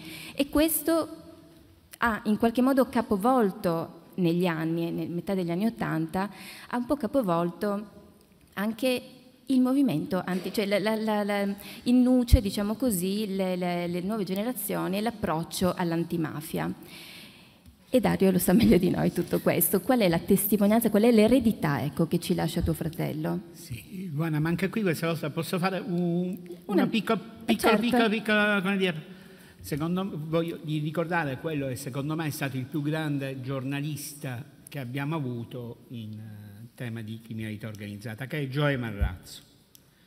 Ora, io mi immagino Gioe Marrazzo col suo microfono, come lo vedevamo a Corleone o in Campania, nei territori del Friuli, del Veneto. Guardate e dovete riflettere molto su questo. Io credo che oggi voi non troverete nessuno in Campania o in Sicilia, a Corleone, a San Giuseppe Iato, che negherà l'esistenza della mafia. Io credo che oggi quel microfono di Giuseppe Marrazzo andrà a testimoniare e inchiodare molta più omertà nei, nelle persone del centro-nord rispetto ai siciliani. E credo che su questo dobbiamo anche fare, fare i conti, per il semplice fatto che noi per primi abbiamo, come si diceva, abbiamo sviluppato gli anticorpi, noi siamo in grado di riconoscere i mafiosi, perché il mafioso si fa riconoscere, Floriana ce l'ha spiegato sempre, il mafioso per esercitare quel suo potere deve essere riconoscibile e deve farsi riconoscere. A Roma lo fa attraverso quello strumento della corruzione, in Sicilia l'ha fatto esercitando la violenza, ma ormai non l'esercita più anche in Sicilia ormai non c'è più bisogno di sperare, ormai come dire, la corruzione è il metodo con cui si fa la pressione mafiosa, si esercita la pressione, la pressione mafiosa. E dico questo proprio perché io credo che io non considero mio fratello un eroe e non, e non credo che anche mio fratello, com'è che, che dicevi, lui con uh, entusiasmo, insomma Beppe... Eh, Mio fratello aveva un senso dello Stato pari a zero. Mio fratello era un ragazzo innamorato del suo lavoro e innamorato del senso della giustizia. Era un ragazzo di 30 anni che ha avuto il dono più grande che un uomo possa avere, che è quello di fare il lavoro che aveva sempre desiderato di fare. Per questo era un bravo poliziotto, perché ci metteva la passione, l'entusiasmo e si curava di quel senso comune che era della, della, della giustizia. Per questo combatteva, combatteva, i mafiosi. E per questo, come dire, anche, anche quando si occupava di mafia, diceva tu non sai che, che soddisfazione si trova ad arrestare le persone per bene e quanto dolore si trova ad arrestare uno che vive in certe condizioni a Palermo. Perché Beppe era un poliziotto così, era un ragazzo, come i ragazzi erano quelli che stavano accanto a Beppe. Io ricordo sempre di ragionare, di stare attenti a questo termine ragazzi. Parliamo di gente di 23 anni, Roberto Antioca, che viene ucciso nove giorni dopo l'omicidio di Beppe assieme a Mannini Casserà a 23 anni. Lillo Zucchetto, che è uno dei più grandi investigatori che ha avuto la città di Palermo dimenticato, aveva soltanto 26 anni. Stiamo parlando, la Cosa Nostra è stata messa in ginocchio da questi ragazzi qua. Questi ragazzi hanno dimostrato che la mafia può essere sconfitta, però il merito Beppe ne, eh, quella squadra mobile, quella sezione catturandi ne ha avuti tantissimi perché operazioni di polizia ne hanno chiuse tantissime, tantissime, veramente tante. Ma la cosa più importante che hanno fatto è quella che oggi sembra una banalità. Sono stati i primi, lui, Nino Cass- Nini Casserà, inventandosi il comitato Lillo Zucchetto. Il comitato Lillo Zucchetto nasce perché quando ammazzano Lillo, che è un investigatore vero, che viene ucciso a 26 anni, nella cattedrale di Palermo non c'era nessuno. Allora non era chic andare ai funerali dei poliziotti come lo è diventato o, o parecchio tempo dopo. C'erano soltanto i poliziotti palermitani. Beppe e Nini consideravano questa cosa qui un'offesa per quel ragazzo. Si sono inventati un comitato Lillo Zucchetto e quindi il dirigente degli investigativi, il dirigente della squadra mobile, cioè le persone che stanno sul fronte, riuscivano a trovare il tempo per andare a incontrare i giovani e i ragazzi delle scuole. Oggi si fa educazione alla legalità. L'educazione alla legalità la fa anche l'URP della polizia, soltanto che è un po' diversa. Mentre mio fratello e Nini andavano a spiegare chi erano e come vivevano i mafiosi assieme a Chinnici, per esempio, allora non c'erano le leggi che favorivano queste cose qui nella, nella scuola che erano e come vivono i mafiosi, che erano e come vivono i poliziotti, oggi si fa educazione alla legalità portando, io adoro i cani, portando i cani nelle scuole, il robottino, e dicendo guardate, conviene che non vi fate le canne perché se no vi arrestiamo. Vi dovete mettere il casco perché se no vi prendiamo una multa. Cioè oggi si, si consiglia l'educazione alla furbizia come educazione alla, alla, alla, alla legalità. Non rispecchiamo la legge perché è una cosa che ci conviene, che sentiamo giusta, ma dobbiamo rispettare la legge soltanto in funzione di quella che è la sanzione. E quindi sì, il messaggio che passa ai nostri ragazzi è che se siamo bravi non, ci, non li facciamo fottere, non ci facciamo fregare. Questa è la, la differenza. Lì quella cosa cambia tutto, perché prima, e io lo, lo ripeto con, con, grande forza, la storia del nostro paese, la storia tra i movimenti studenteschi, i giovani, nelle nostre piazze, nelle nostre vie, è una storia di violenza noi usciamo dal 68 e dal 77 dove tra i giovani, gli studenti e la polizia in questo paese ci si sparava per le strade.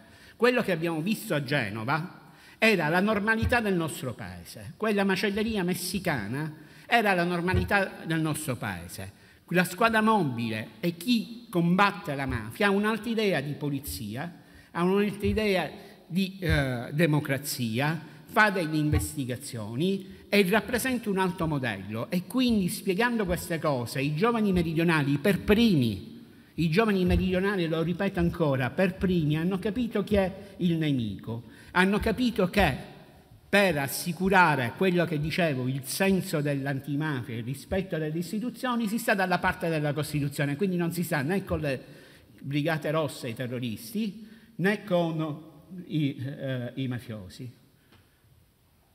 Dico questo pensandoci un po' perché frequentando un po' di giustizia riparativa, avendo conosciuto chi, ahimè, ha fatto parte di quella, di quella stagione, so anche la capacità di riflessione e di dolore che hanno messo in testa perfino i terroristi su questo. Io spero che dentro la giustizia riparativa si possa aprire un, un ragionamento anche nei confronti della criminalità organizzata, ma questo è un altro discorso. Quindi pezzi di studenti, pezzi del movimento studentesco in Sicilia, i giovani, hanno identificato il nemico e stavano dalla parte dei poliziotti e, de, e dei magistrati. Questo ha cambiato il mondo. Mio fratello era consapevole, eh, perché lui lo diceva sempre quando incontrava uh, i giornalisti, dice molti dei nostri successi non dipendono soltanto dalla nostra capacità investigativa, dipendono anche dai cambiamenti culturali che siamo in grado, in grado di realizzare. Il maxi processo viene e inizia pochi mesi dopo l'omicidio di Beppe, a conclusione di questo, di questo, di questo lavoro.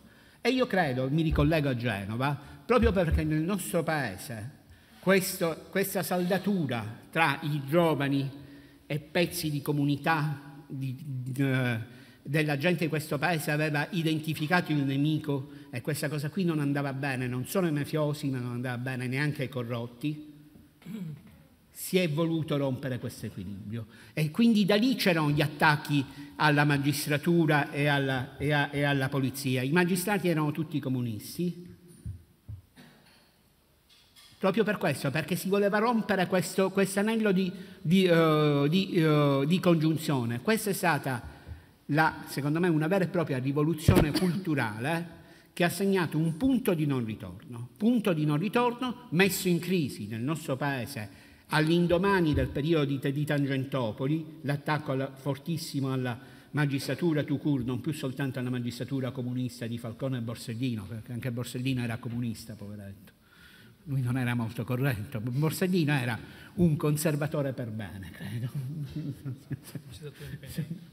No, penso un conserv- era, era una, perso- una, persona per bene tout court. Uh, eh, eh, e poi con lì, la dimostrazione di Genova. Genova che è importante anche su quello che stiamo vedendo oggi perché quello che abbiamo visto a Genova è esattamente la logica che si conclude con il decreto sicurezza bis, con quello che do, dobbiamo ragionarci all'indomani di quello che abbiamo visto nella manifestazione. Nel nostro paese si voleva, fare, si far passare, si voleva far passare l'idea che manifestare era pericoloso. Occuparsi degli altri è una cosa pericolosa. Quindi l'idea di doverci tutti chiudere nelle case e perfino la gestione quando il, il uh, nostro uh, dottore ci dice Siracusa non era mafiosa, ma perché? Catania è una città mafiosa. Catania non, era, non è come Palermo dove, dove era nata la mafia. Ce l'ha spiegato benissimo Pippo Fava. Catania è una città dove la mafia è stata inventata dai cavalieri del lavoro definiti da Fava i cavalieri della, della, dell'Apocalisse, che, che, che, svolgevano due servizi. Primo, quello di garantire la, la sicurezza privata dei, dei, grandi imprenditori catanesi. La Sicilia e Cosa Nostra non mi sembra che abbia fatto mai dei rapimenti. Cosa Nostra soltanto Fiorentino, il gioielliere eh, palermitano oh, e così via. Perché Immaginate, io vivo in una città dove la situazione è paradossale. Eh, nel giro proprio di 20 chilometri, cioè, eh, eh, tra Catania Centro e il primo paese attaccato, ci sono ben due carceri minorili. Due carceri minorili. Normalmente ce n'è uno per regione. Da noi ce ne sono due, non nella stessa provincia, nei comuni, nei comuni attaccati. E questi ragazzi vengono esattamente da quei quartieri, da quei quartieri eh, periferici, dove succede quello che ha, ci ha descritto oh, Floriana a Roma. Ma se noi non ci occupiamo dei talenti di questi ragazzi, se noi non ci occupiamo di quanti di questi ragazzi potevano diventare Verga, Bellini, Franco Battiato, ma di loro si accorgono soltanto i mafiosi, di che sicurezza parliamo? Noi abbiamo, per garantire sicurezza abbiamo bisogno di politica anzi abbiamo bisogno di politica. Noi abbiamo bisogno di politiche sul lavoro, sulla casa, sui giovani, perché ragione Floriana, l'unico welfare è soltanto quello della criminalità organizzata, che gestisce non soltanto lo stato sociale delle nostre periferie, ma anche la sicurezza. Cioè la, il controllo del territorio e dell'ordine e della criminalità viene gestito a loro. è la cosa più importante che ha fatto Beppe nella sua vita. Non, appunto, non sono i successi sul, sul piano repressivo, ma è quel cambio di volta. Quel cambio di volta ha seminato talmente tanto che quando hanno arrestato Brusca. Ci, ci sono stati i suoi colleghi che grazie a Dio sono venuti dopo Beppe perché la storia non è fatta appunto da eroi solitari, ma c'è una continuità di lavoro che è stato fatto, nonostante l'interruzione di, di un periodo in cui questo lavoro si voleva far interrompere, che da quel balcone, dopo quegli arresti, ha uscito le magliette di Libera e dei ragazzi di Addio Pizzo, perché sotto c'erano i giovani palermitani che stavano applaudendo a, quel, a quegli arresti. Io credo che sia sempre triste applaudire quando si arrestano, si arrestano delle persone. Ma capite il senso di liberazione che c'era? Qual era la sintonia fra quel pezzetto di squadra mobile e quel pezzetto di magistratura?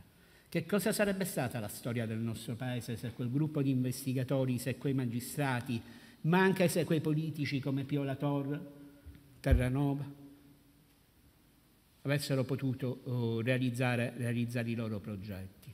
E poco fa io dicevo al dottore, io ce l'ho con lui, perché lui si è andato da Siracusa e quando vi dicevo che la mafia è istituzionale, la mafia sta sempre alla parte delle istituzioni, noi siamo sempre dalla parte della magistratura, ma i magistrati hanno nome e cognomi e responsabilità. Le istituzioni in quanto tali non si toccano, ma le persone che ricoprono quegli incarichi istituzionali è come se devono essere toccate. Perché il rispetto delle istituzioni è il rispetto sull'istituzione, ma le istituzioni vengono incarnate dal lavoro delle persone. Quelle persone devono rendere conto. Siracusa, che era la provincia Abba, è al centro di un sistema criminale e di corruzione di altissimo livello nel nostro paese, che, che incrocia Siracusa, Roma e porta alla giustizia amministrativa i vertici dei magistrati, da, da noi in Sicilia che siamo bravi con l'autonomia speciale abbiamo quello che corrisponde al Consiglio di Stato, per capirci, il Consiglio di Giustizia dell'Amministrazione, dove abbiamo avuto arrestati, imputati e arrestati, sono attualmente sotto processo, per corruzione il capo del CGA, il presidente del CGA e uno oh, dei, dei, magistrati che hanno partecipato a queste, all'estensione di diverse queste sentenze, che oltretutto anche qui faceva parte della componente laica del, CS, del, del CGA.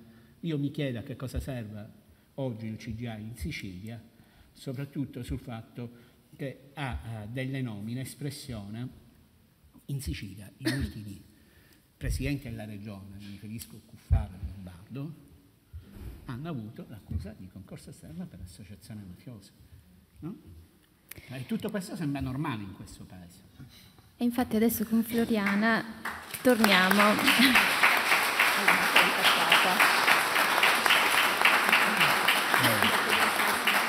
Sì, sì.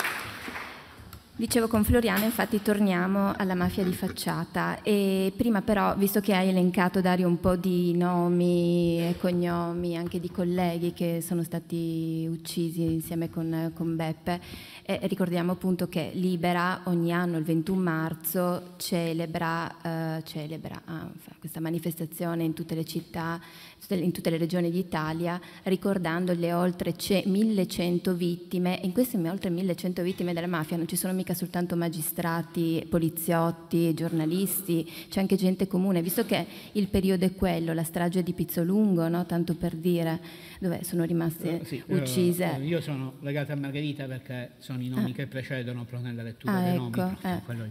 Eh, però cui... Luana mi fa ricordare, io quest'anno a Catania noi abbiamo ricordato quell'elenco, sapete dove abbiamo letto sotto, davanti a 3.000 persone sotto la pioggia quei nomi?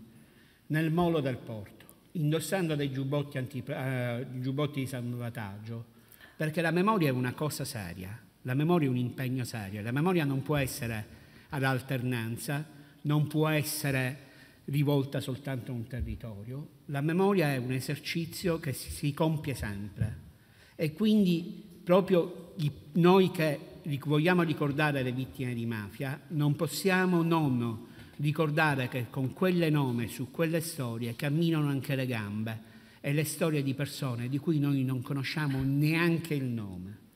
Noi il 21 marzo abbiamo l'enorme privilegio di poter raccontare le storie di ognuno di quelle, di quelle 1100 persone.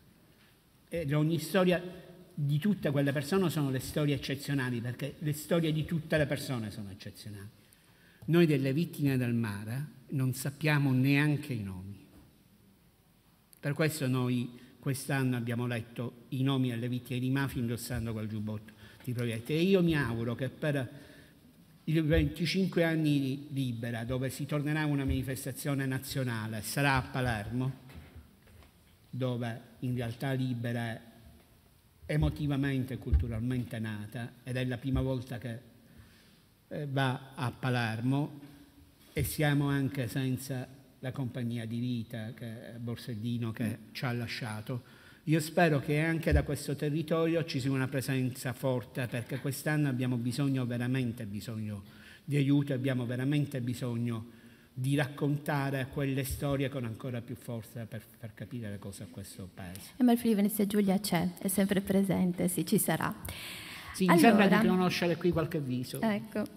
Allora, quindi abbiamo detto, torniamo alla mafia di facciata. Abbiamo accennato all'inizio alla figura di Montante, il um, presidente, ex presidente di Confindustria Sicilia, che um, nel suo ultimo libro Attilio Bolzoni definisce il paladino dell'antimafia, il padrino, scusate, dell'antimafia, il padrino dell'antimafia sintomatico. E questo signore è stato condannato a maggio a 14 anni per associazione delinquere finalizzata alla corruzione di cui sopra.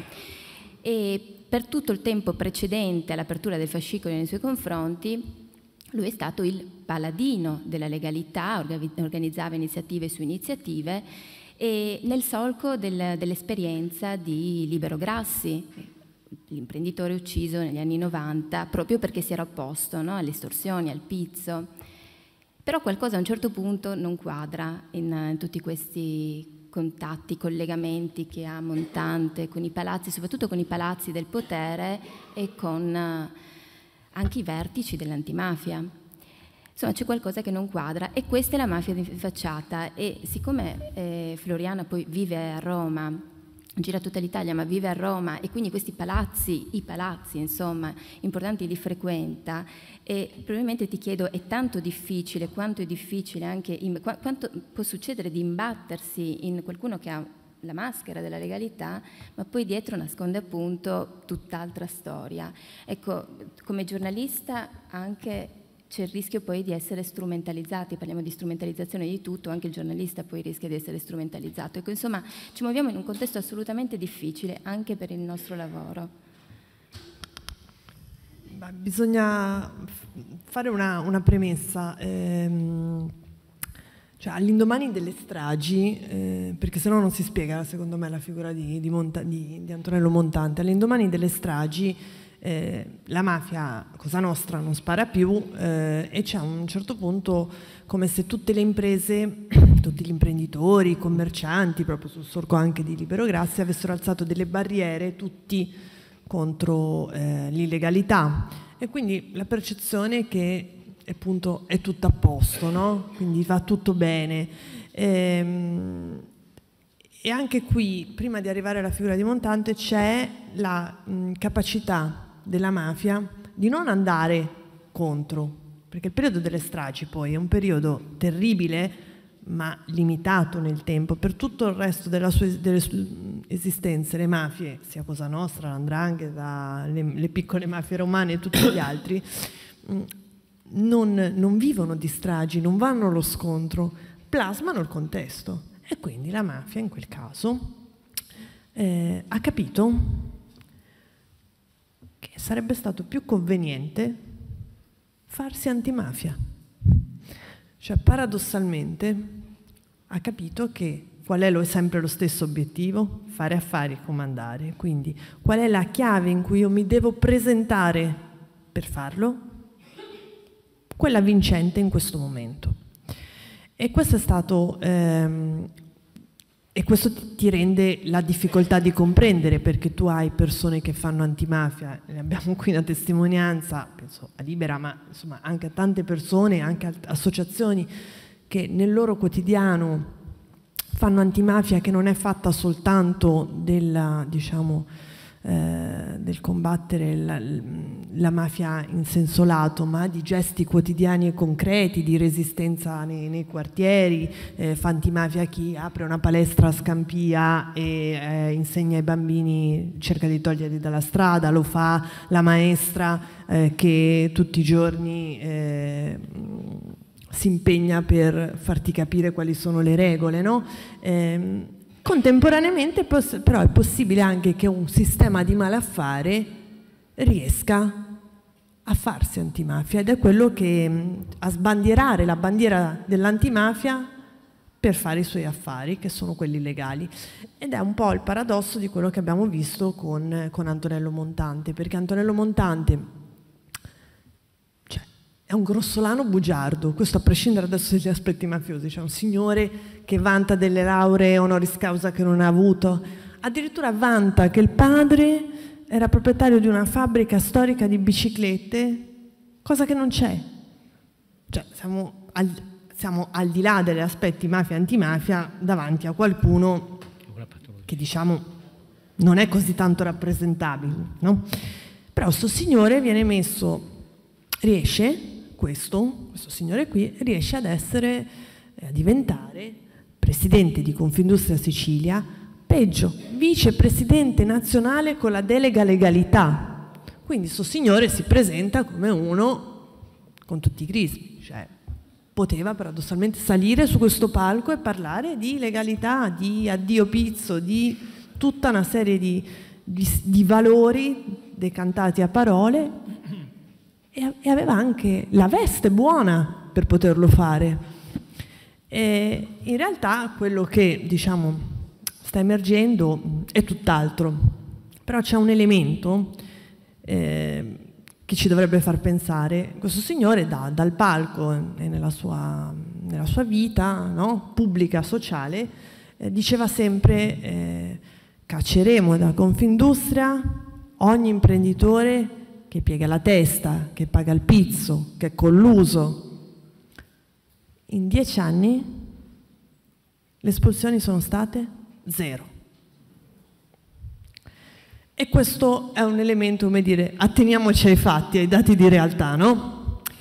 E un elemento su cui probabilmente qualcuno si doveva interrogare, e io qui lo dico in maniera trasversale, la stampa, le istituzioni, politici, tutti dovevamo interrogare. Però quando tu ti sei vestito col vestito buono e la, sei stato legittimato a farlo, è molto complicato, molto complicato. Quello che di fatto lui era un campiere dei nostri giorni, in un certo senso sorvegliava e proteggeva gli interessi, secondo l'accusa, dei mafiosi e ha trovato una parte di istituzioni connivente, un'altra parte di gente che non ha aperto gli occhi davanti a quello che doveva essere evidente. E qui c'è la capacità di inserirsi nel contesto. Lui ha usato gli stessi strumenti che usavano quelli, a parole ovviamente, che usavano quelli che facevano l'antimafia. E quindi era credibile. E e qui ci dà da pensare quanto troppo spesso siano slogan, parole vuote, come prima dicevano chi non è per la legalità e chi non è per l'antimafia. Persino la mafia è per l'antimafia, in questo paradosso. A parole non ci vuole molto. Ehm, lui, diciamo, la legalità, eh, secondo quello che è emerso, mh, aveva un suo modo di, di, di, usare la legalità, addirittura aveva delle forze dell'ordine conniventi che venivano utilizzate non per eh, espellere l'imprenditore che si pigliava il pizzo, ma per screditare far fuori quello che magari diceva a me non mi sta bene così. Era un signore a cui hanno trovato a casa indipendentemente da come vada il processo, hanno trovato a casa nel cavò tutti gli appuntamenti con i sodali o gli avversari e registrava ogni cosa. Io, incredibile di uno che altro che intercettazioni in questo senso, no? Ovviamente le registrazioni servivano per ricattare o per essere utilizzati per screditare. Capite che davanti un sistema messo in piedi così è ovvio Scusa, che... uh, vorrei ricordare, ci sono anche le, le chiamate verso l'utenza di Don Luigi, sì. con una piccolissima precisazione che lui, Don Luigi non solo non ha risposto, ma non, ma non ha mai richiamato. No, no, ma aspetta un attimo.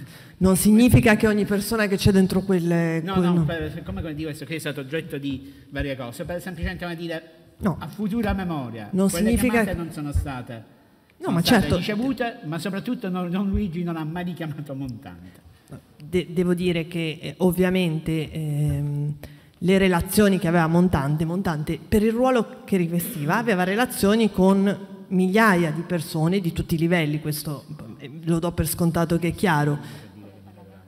Eh, sì, in un certo senso come Palamara eh, possono essere entrate in contatto con Palamara, eh, Palamara mm, si apre l'altro capitolo che è l'apitolo magistrati e CSM.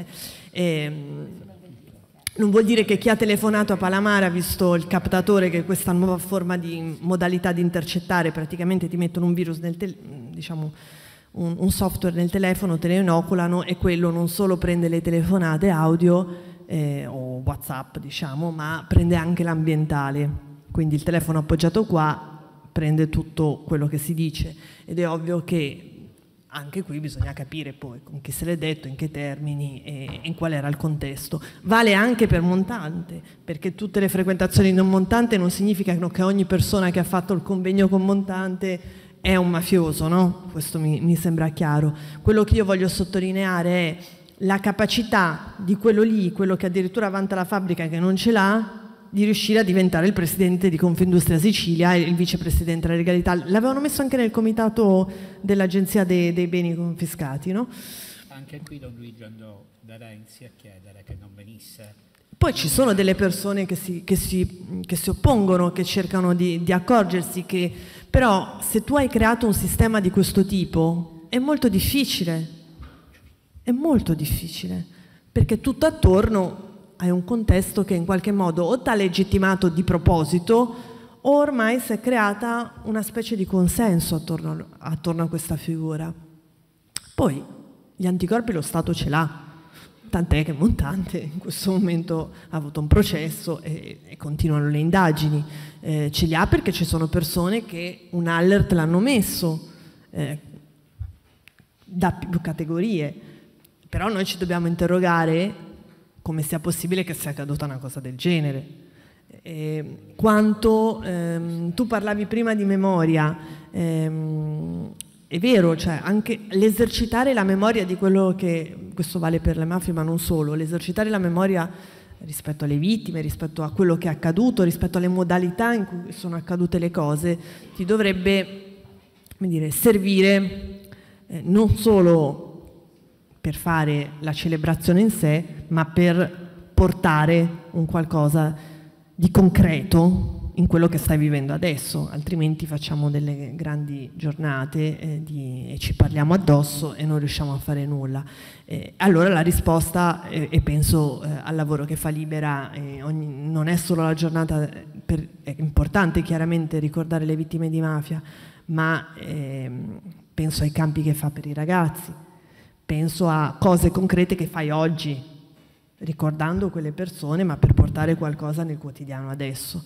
E allora davanti a questo, davanti all'antimafia di facciata, eh, tu devi comprendere che le dinamiche in cui si esplica la mafia non sono, non solo non sono la coppia della lupara, ma non sono neanche quelle che tentiamo di raccontare eh, appunto il, il borghese vestito buono, il commercialista, l'avvocato, no, no, arrivano anche a presentarsi con la veste di quello che tu teoricamente pensi che lui rifugga. E soltanto se tu riesci a lavorare quotidianamente per smascherarlo, e in questo sì facendo rete, perché non ci sono eroi. Noi giustamente ricordiamo le persone che sono state uccise dalla mafia, ma torniamo ad adesso e cerchiamo di costruire qualcosa di quotidiano. E solo se lo fai in una costruzione di rete tu riesci a evitare che si possano creare dei, dei, grumi di potere come quello di Montante, perché al di là di tutto, mafia non mafia, quello è un grumo di potere che ha permesso di fare lo schedario con le persone, da chiamare o non chiamare, da ricattare o da non ricattare, da far salire o non far salire, e di fatto lui era, io sono convinta, Montante era uno strumento, un uomo di facciata che da paladino dell'antimafia diventa padrino dell'antimafia, da mettere lì per essere utilizzato da altri.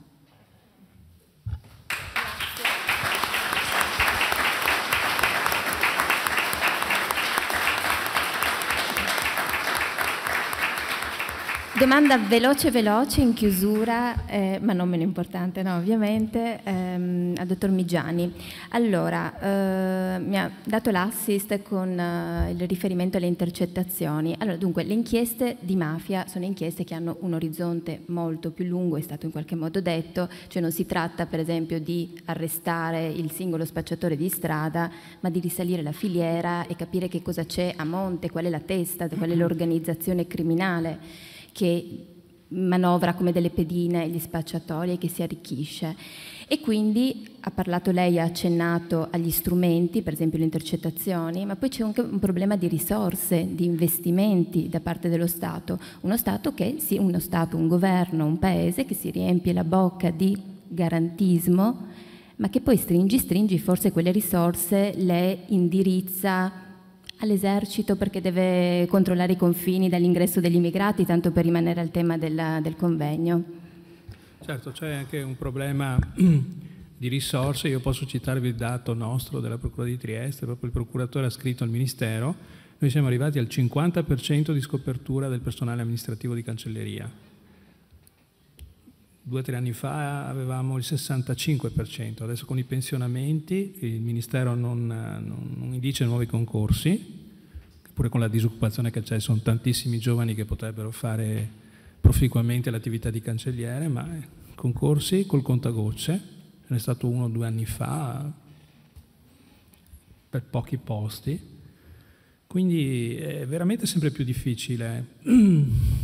Cioè il personale ad onta del fatto che si dice che gli statali non lavorano, no? in realtà non è così perché almeno nel campo della magistratura il personale di cancelleria veramente si sacrifica tanto, lavora tanto. Perché è anche una questione anche di numeri a un certo punto. Prima erano in 10 e poi sono in 5. Quel lavoro comunque va fatto perché ci sono dei passaggi obbligati, no?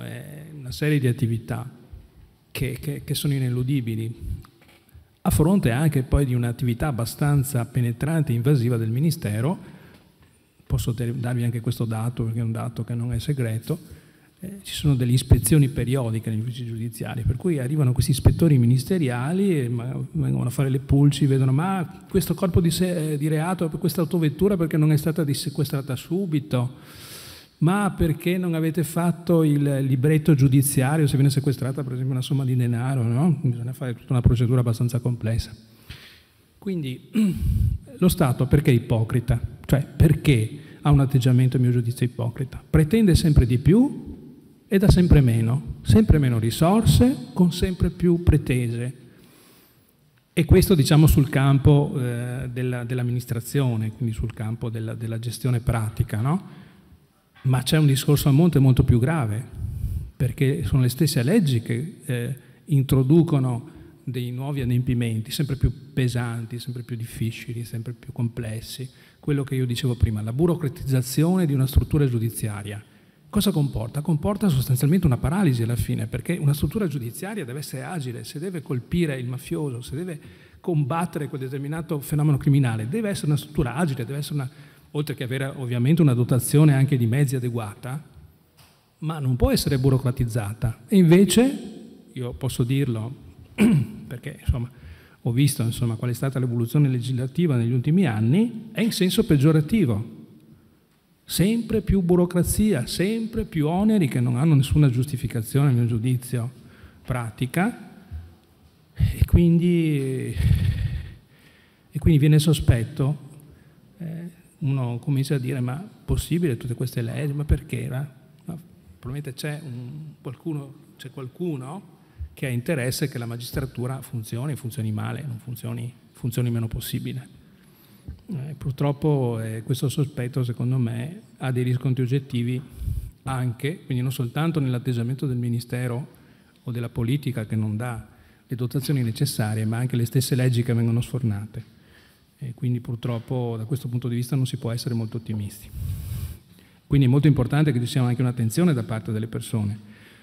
Però io mi rendo conto che c'è un problema anche di controllo dei mass media, per esempio i veri problemi eh, la gente non li conosce.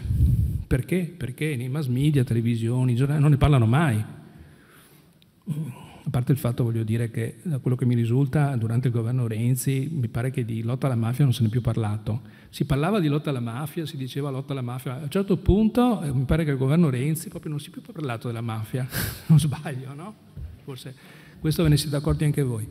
Adesso non voglio fare una critica magari eh, così... Eh, così mirata. Il, il ministro Però eh, obiettivamente... Il l'ex ministro degli interni ha, de, eh, ha, fatto un tweet, ha dedicato un tweet, la mafia fa schifo, ecco, ecco la grande lotta no? di facciata. Sì, però noi abbiamo bisogno di cancellieri, abbiamo bisogno anche di, di leggi più semplici e di, di non avere del, degli inutili orpelli, di, di avere delle, delle farragini che non, in realtà ci impediscono di svolgere la nostra funzione. Quindi eh, l'attenzione mass mediatica, da quello che io posso vedere, è incentrata molto sui grandi processi, no? eh, a volte c'è poi questo interesse, secondo me, patologico anche nei confronti di quei casi particolari di omicidi iniziari, no? per cui esiste tutta una... Però i veri problemi della giustizia alla fine non vengono fatti conoscere alle persone, proprio perché i mass media non danno questa possibilità e secondo me non è un caso.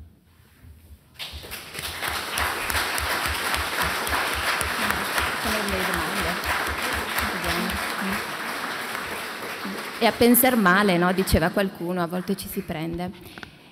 E Don Di Piazza paio, lasciamo lo spazio 5 minuti a un paio di domande, se ci sono. Sì, chiudiamo alle 7 e un quarto, quindi abbiamo 10 minuti a disposizione, forse no. Eccolo. Sì.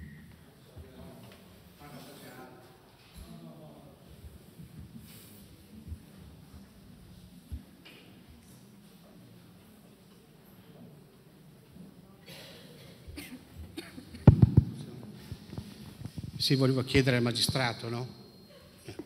E, ehm, cioè sono rimasto un po' sconfortato da quello che lei diceva, no? E volevo chiedere a lei come vive questa contraddizione tra la consapevolezza che il fenomeno mafioso c'è anche qui al nord, sta infiltrandosi nell'economia, nella società, nella finanza, eccetera, e il fatto che dall'altra parte, come diceva lei, lo Stato è praticamente, possiamo dire, assente, non c'è perché gli strumenti che avete sono pochi sono anche spuntati, nel senso che parlava di legislazione farraginosa, eccetera, no? Ma lei personalmente come vive questa contraddizione nel suo impegno quotidiano contro la mafia? Beh, io ovviamente cerco di fare il massimo possibile per quello che, che nei miei mezzi. C'è questa, si vive questo disagio, no? Cioè ci si rende conto che come operatori della, della giustizia che si potrebbero eh, ottenere, se, avendo gli strumenti giusti, si potrebbero avere risultati molto, molto maggiori. Comunque ci si impegna ovviamente, è un impegno congiunto perché non è soltanto il pubblico ministero che, che imbastisce i processi, ma è la polizia giudiziaria ovviamente. Quindi c'è anche un problema di professionalità della, mm, della polizia giudiziaria eh, che a mio giudizio negli ultimi tempi sta molto migliorando, nel senso che secondo me fino a qualche anno fa anche la stessa polizia giudiziaria non aveva la sensibilità giusta e quindi magari non aveva per dire, non so, eh, faccio un esempio, no? stazione dei carabinieri del paesino, arriva il, eh, so, il napoletano camorrista, eh, insomma, se io fossi il, il, maresciallo comandante della stazione, magari farei una telefonatina. Questo magari qualche anno fa non lo facevano, nel senso che non avevano neanche loro, gli stessi carabinieri, faccio un esempio spicciolo, non avevano il senso di, um, di percepire come una realtà che sta cambiando. Ecco. Comunque sì, eh, è un po' frustrante per certi aspetti, eh, si cerca di fare il massimo, però c'è questa consapevolezza. Secondo me c'è una volontà, cioè c'è qualcuno che non vuole che si raggiungano determinati risultati, questo è il discorso.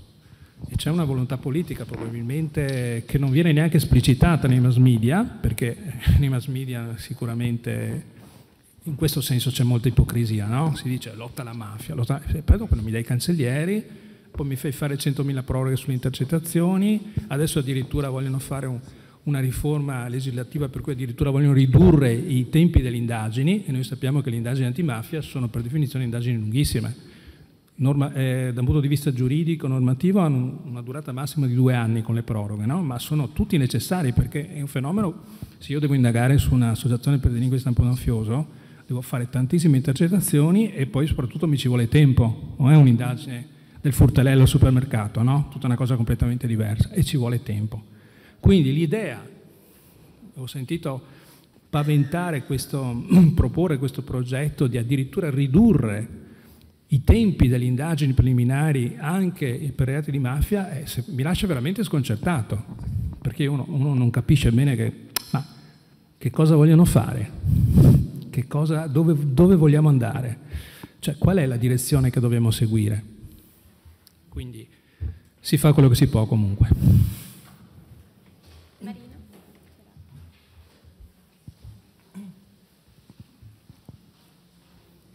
Sì, Marino Vesintini, una considerazione dopo vado alla domanda, perché mi sembra che eh, cioè il discorso dell'infiltrazione della mafia in Friuli, ormai lo sanno anche i muri da decenni. Cioè ormai non si è voluto indagare, però questo era saputo da decenni.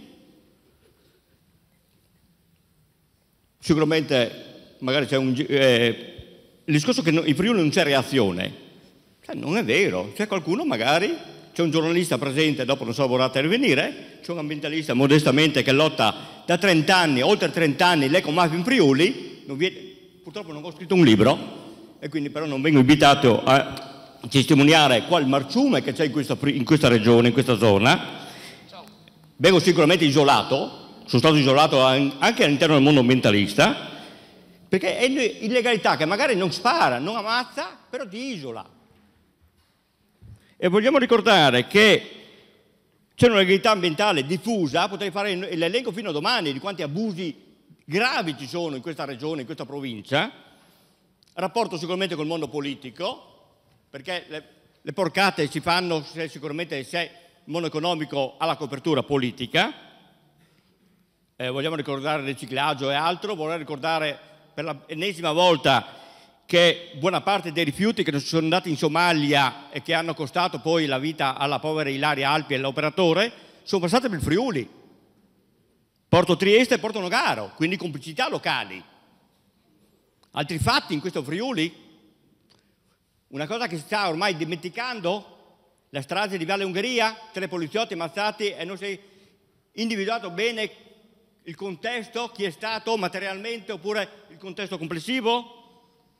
L'una bomber, una o più persone che hanno creato una strategia, anche quello scomparso.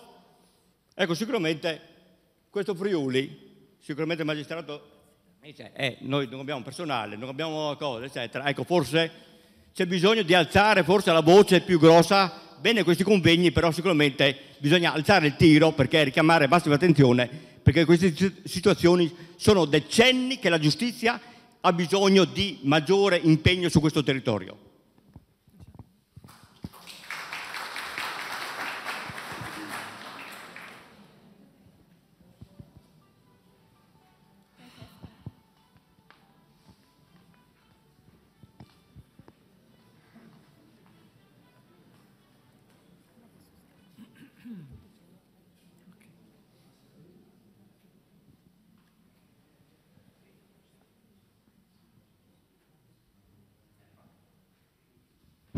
Buonasera a tutti.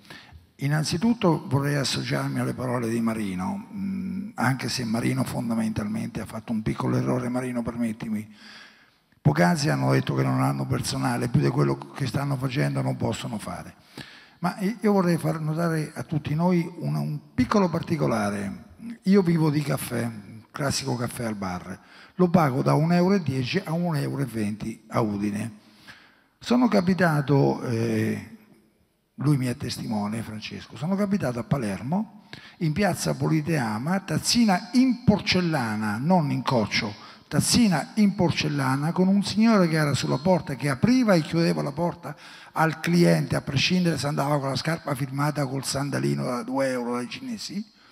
Il caffè l'ho pagato 80 centesimi, ripeto 0,8 euro. La domanda è questa e la vorrei fare al eh, dottor Montana. Siamo noi che paghiamo il pizzo o sono i siciliani che pagano il pizzo? Io quando vado a Palermo faccio cena con 10 euro e mangio. Ho i testimoni. Il caffè lo pago una stupidaggine. L'autostrada è gratuita, o meglio, non spendo 5 euro per fare Udine-Trieste, faccio Catania-Palermo e spendo 80 centesimi? Mi corregga se sbaglio. Siamo noi che paghiamo il pizzo, ma qui la mafia non c'è. Qui la mafia non c'è. Luana, eh, mi ricordo un tuo articolo, ti do del tu, mi perdonerai, su una Ferrari Scaglietti. Chi è che non ha una Ferrari Scaglietti qui? Cavolo, siamo tutti poveri allora. Paghiamo noi il pizzo o lo pagano i siciliani? Grazie. Beh, intanto le rispondo subito sull'autostrada. È come se paghiamo il pizzo sull'autostrada. In Sicilia l'autostrada, l'unica autostrada... No, no, no, no, no, no, no, no dico, l'unica autostrada attualmente a, pag- a pagamento in Sicilia è la Catania-Messina. Ha delle interruzioni disastrose, hanno fatto un intervento che dovranno rifarlo di nuovo perché hanno sbagliato l'intervento in galleria. In quell'autostrada è l'autostrada che passa e che poi diventa la Messina-Palermo, dove ci sono le frane. E le frane non sono un, uno, una cosa che ci manda il buon Dio. Quando io non pago la Catania-Palermo, ma quella, quell'autostrada è oggetto dei crolli, eh, dei ponti, quando a, la, a, Agrigento Caltanissetta eh, la, il pezzetto del raccordo dell'autostrada inaugurato viene a cadere giù 20 giorni dopo quell'inaugurazione. Quando mi vengono giù gli immobili perché c'è il cemento depotenziato e tutte queste storie, cos'è se non, se non pago il pizzo? E anche, e anche sul caffè. Vede, vede, in Sicilia il caffè costa 80 centesimi però il caffè è uno degli strumenti classici dell'imposizione del pizzo in, in Sicilia, perché c'è un meccanismo molto semplice. Il signor Campanella, per esempio nella mia città, eh, che è quello che era proprietario del caffè Lorè, imponeva in franchising e ti rifacevano e ti ricostruivano tutti, tutti i bar da zero totalmente tenorio a Mordenamo, purché tu ti, oh, avessi come commessa il suo caffè. All'inizio era un caffè ottimo, poi mano a mano ti davano il caffè sempre un po' più bruciato, un po' tostato o meno. Il pizzo in Sicilia si paga con l'imposizione dei, eh, dei, eh, dei servizi. Vedete, se noi dobbiamo fare un salto in avanti, io credo che uno degli elementi eh, più pericolosi per la nostra democrazia è l'evasione fiscale e la corruzione, e anche l'evasione fiscale. Non so bene cosa vuol dire questa cosa qui. Sì, sì, sì, sì, sì, sì no, no, uh, certo, no, però stavo cercando di seguire questo filo, filologico per fare un, un discorso che può sembrare eh, ambiguo. Noi siamo andati per anni nelle scuole a dire che si faceva antimafia facendo l'educazione alla legalità, chiedendo lo scontrino al commerciante. Oggi la storia è un po' cambiata, lo scontrino lo dobbiamo chiedere, ma la mafia, non per combattere la mafia in quanto tale, perché il vero problema che abbiamo giù non sono i commercianti che non ti rilasciano lo scontrino, ma sono quelli che continuano a fare gli scontrini dopo che abbassano le saracinesche.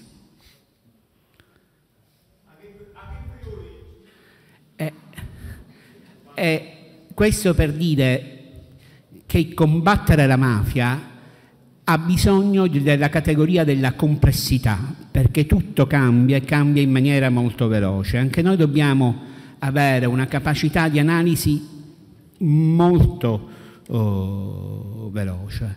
Quando oh, si fa riferimento a mafia capitale, il, la difficoltà della, eh, di individuare l'esistenza dell'associazione mafiosa in, fuori dai contesti meridionali e fuori dalle aree tradizionali deriva da un fatto oggettivo che sta nella norma, no? quella è una norma caratterizzata sul controllo del territorio attraverso la violenza. Se non abbiamo una magistratura attrezzata, e a Roma l'abbiamo trovata, ma a Milano per esempio non l'abbiamo trovata. A Milano il processo, eh, ricorda, il processo Lea Garofani non è un processo per criminalità organizzata, no? Per Lea Garofani, una donna che viene, eh, inizia a, a denunziare eh, e, e a raccontare le vicende dell'andrangheta giù, viene a Milano oh, rapita dal marito, viene uccisa, storia terribile, sua figlia Denise denunzierà suo padre, condanna tutto quanto, ma non c'è l'associazione mafiosa. Quel processo, se fosse stato celebrato a Reggio Calabria, lì ci sarebbero stati i magistrati che dicevano è come se qui non c'è andrangheta. È come se questa non è una storia dell'andrangheta, il marito l'ha fatto uccidere, quel contesto, quel contesto familiare per garantire l'omertà. Noi abbiamo a che fare con una mafia che incomincia a prescindere dal territorio, abbiamo bisogno di nuove categorie ed è sempre più complesso perché le norme sono sempre quelle. Io credo che oggi col 416 bis, così come è strutturato oggi, probabilmente neanche Totò Reina verrebbe condannato.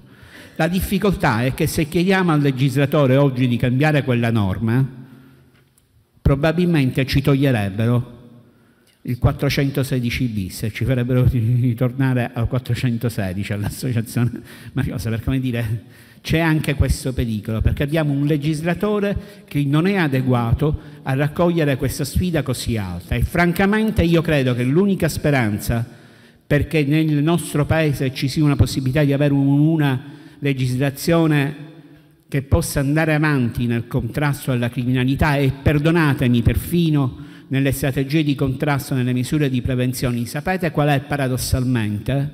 È l'Europa.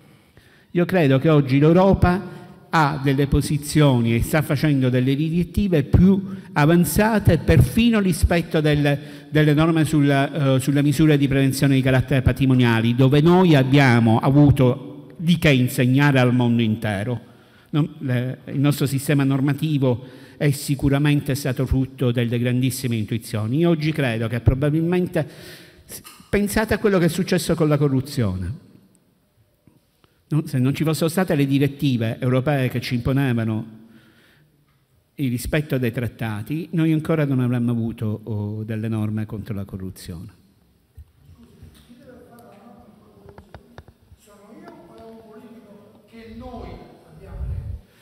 Appunto, siamo Infatti, noi che l'abbiamo letto. La responsabil- io cre- mi perdoni, io, io, io credo che in Sicilia noi abbiamo o, o dobbiamo fare i conti con la nostra responsabilità sino in fondo.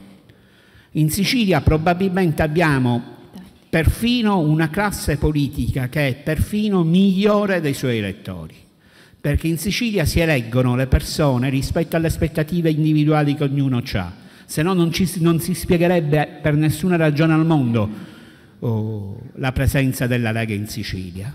Credo che i deputati leghisti sono meglio degli elettori siciliani che li hanno eletti.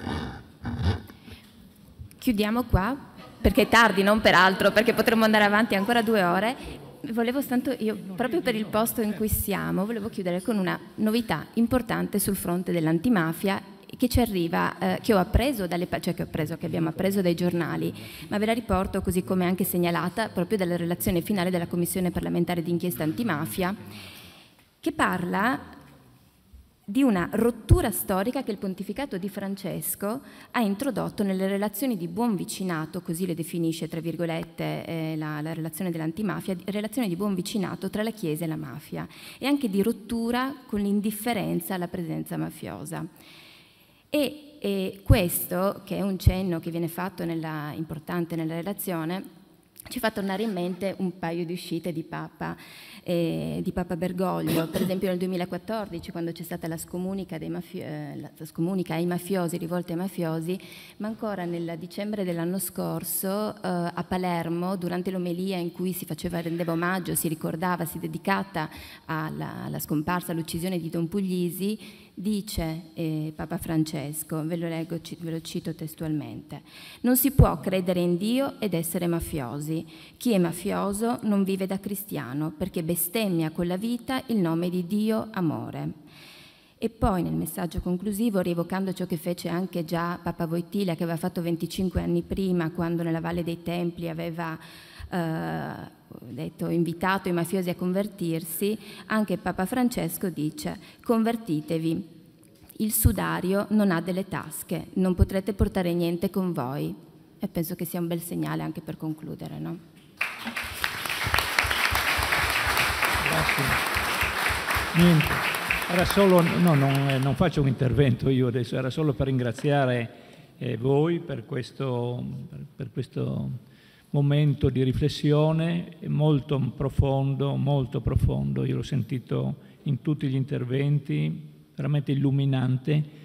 E quindi era per esprimere gratitudine a nome del Centro Balducci e degli organizzatori del convegno e ricordare che domani il convegno termina fuori del Centro Balducci, come abbiamo fatto altre volte, perché ci recheremo in due luoghi emblematici, non solo per il Friuli Venezia Giulia, credo a livello nazionale di fronte alla base USAF di Aviano alle 10 per porre questa domanda. Ma è possibile che l'umanità pensi ancora che le armi, addirittura le armi atomiche che sono presenti in quella base, come nella base di Gheffi vicino a Brescia, siano garanzia di sicurezza per l'umanità, quando qui, anche ieri sera, abbiamo ascoltato la testimonianza di questa amica afghana che è qui, che dice che l'Afghanistan è in una situazione sempre peggiore, anche dopo la presenza nostra. Prima. Secondo, sul Vajont. Ah, c'è tutto il discorso anche sugli F-35 di fronte ad Aviano, perché non ci sono soldi per la cultura, per le scuole, per la sanità, per i servizi sociali, però ci sono i soldi da investire per gli F-35 strumenti di morte, non di vita.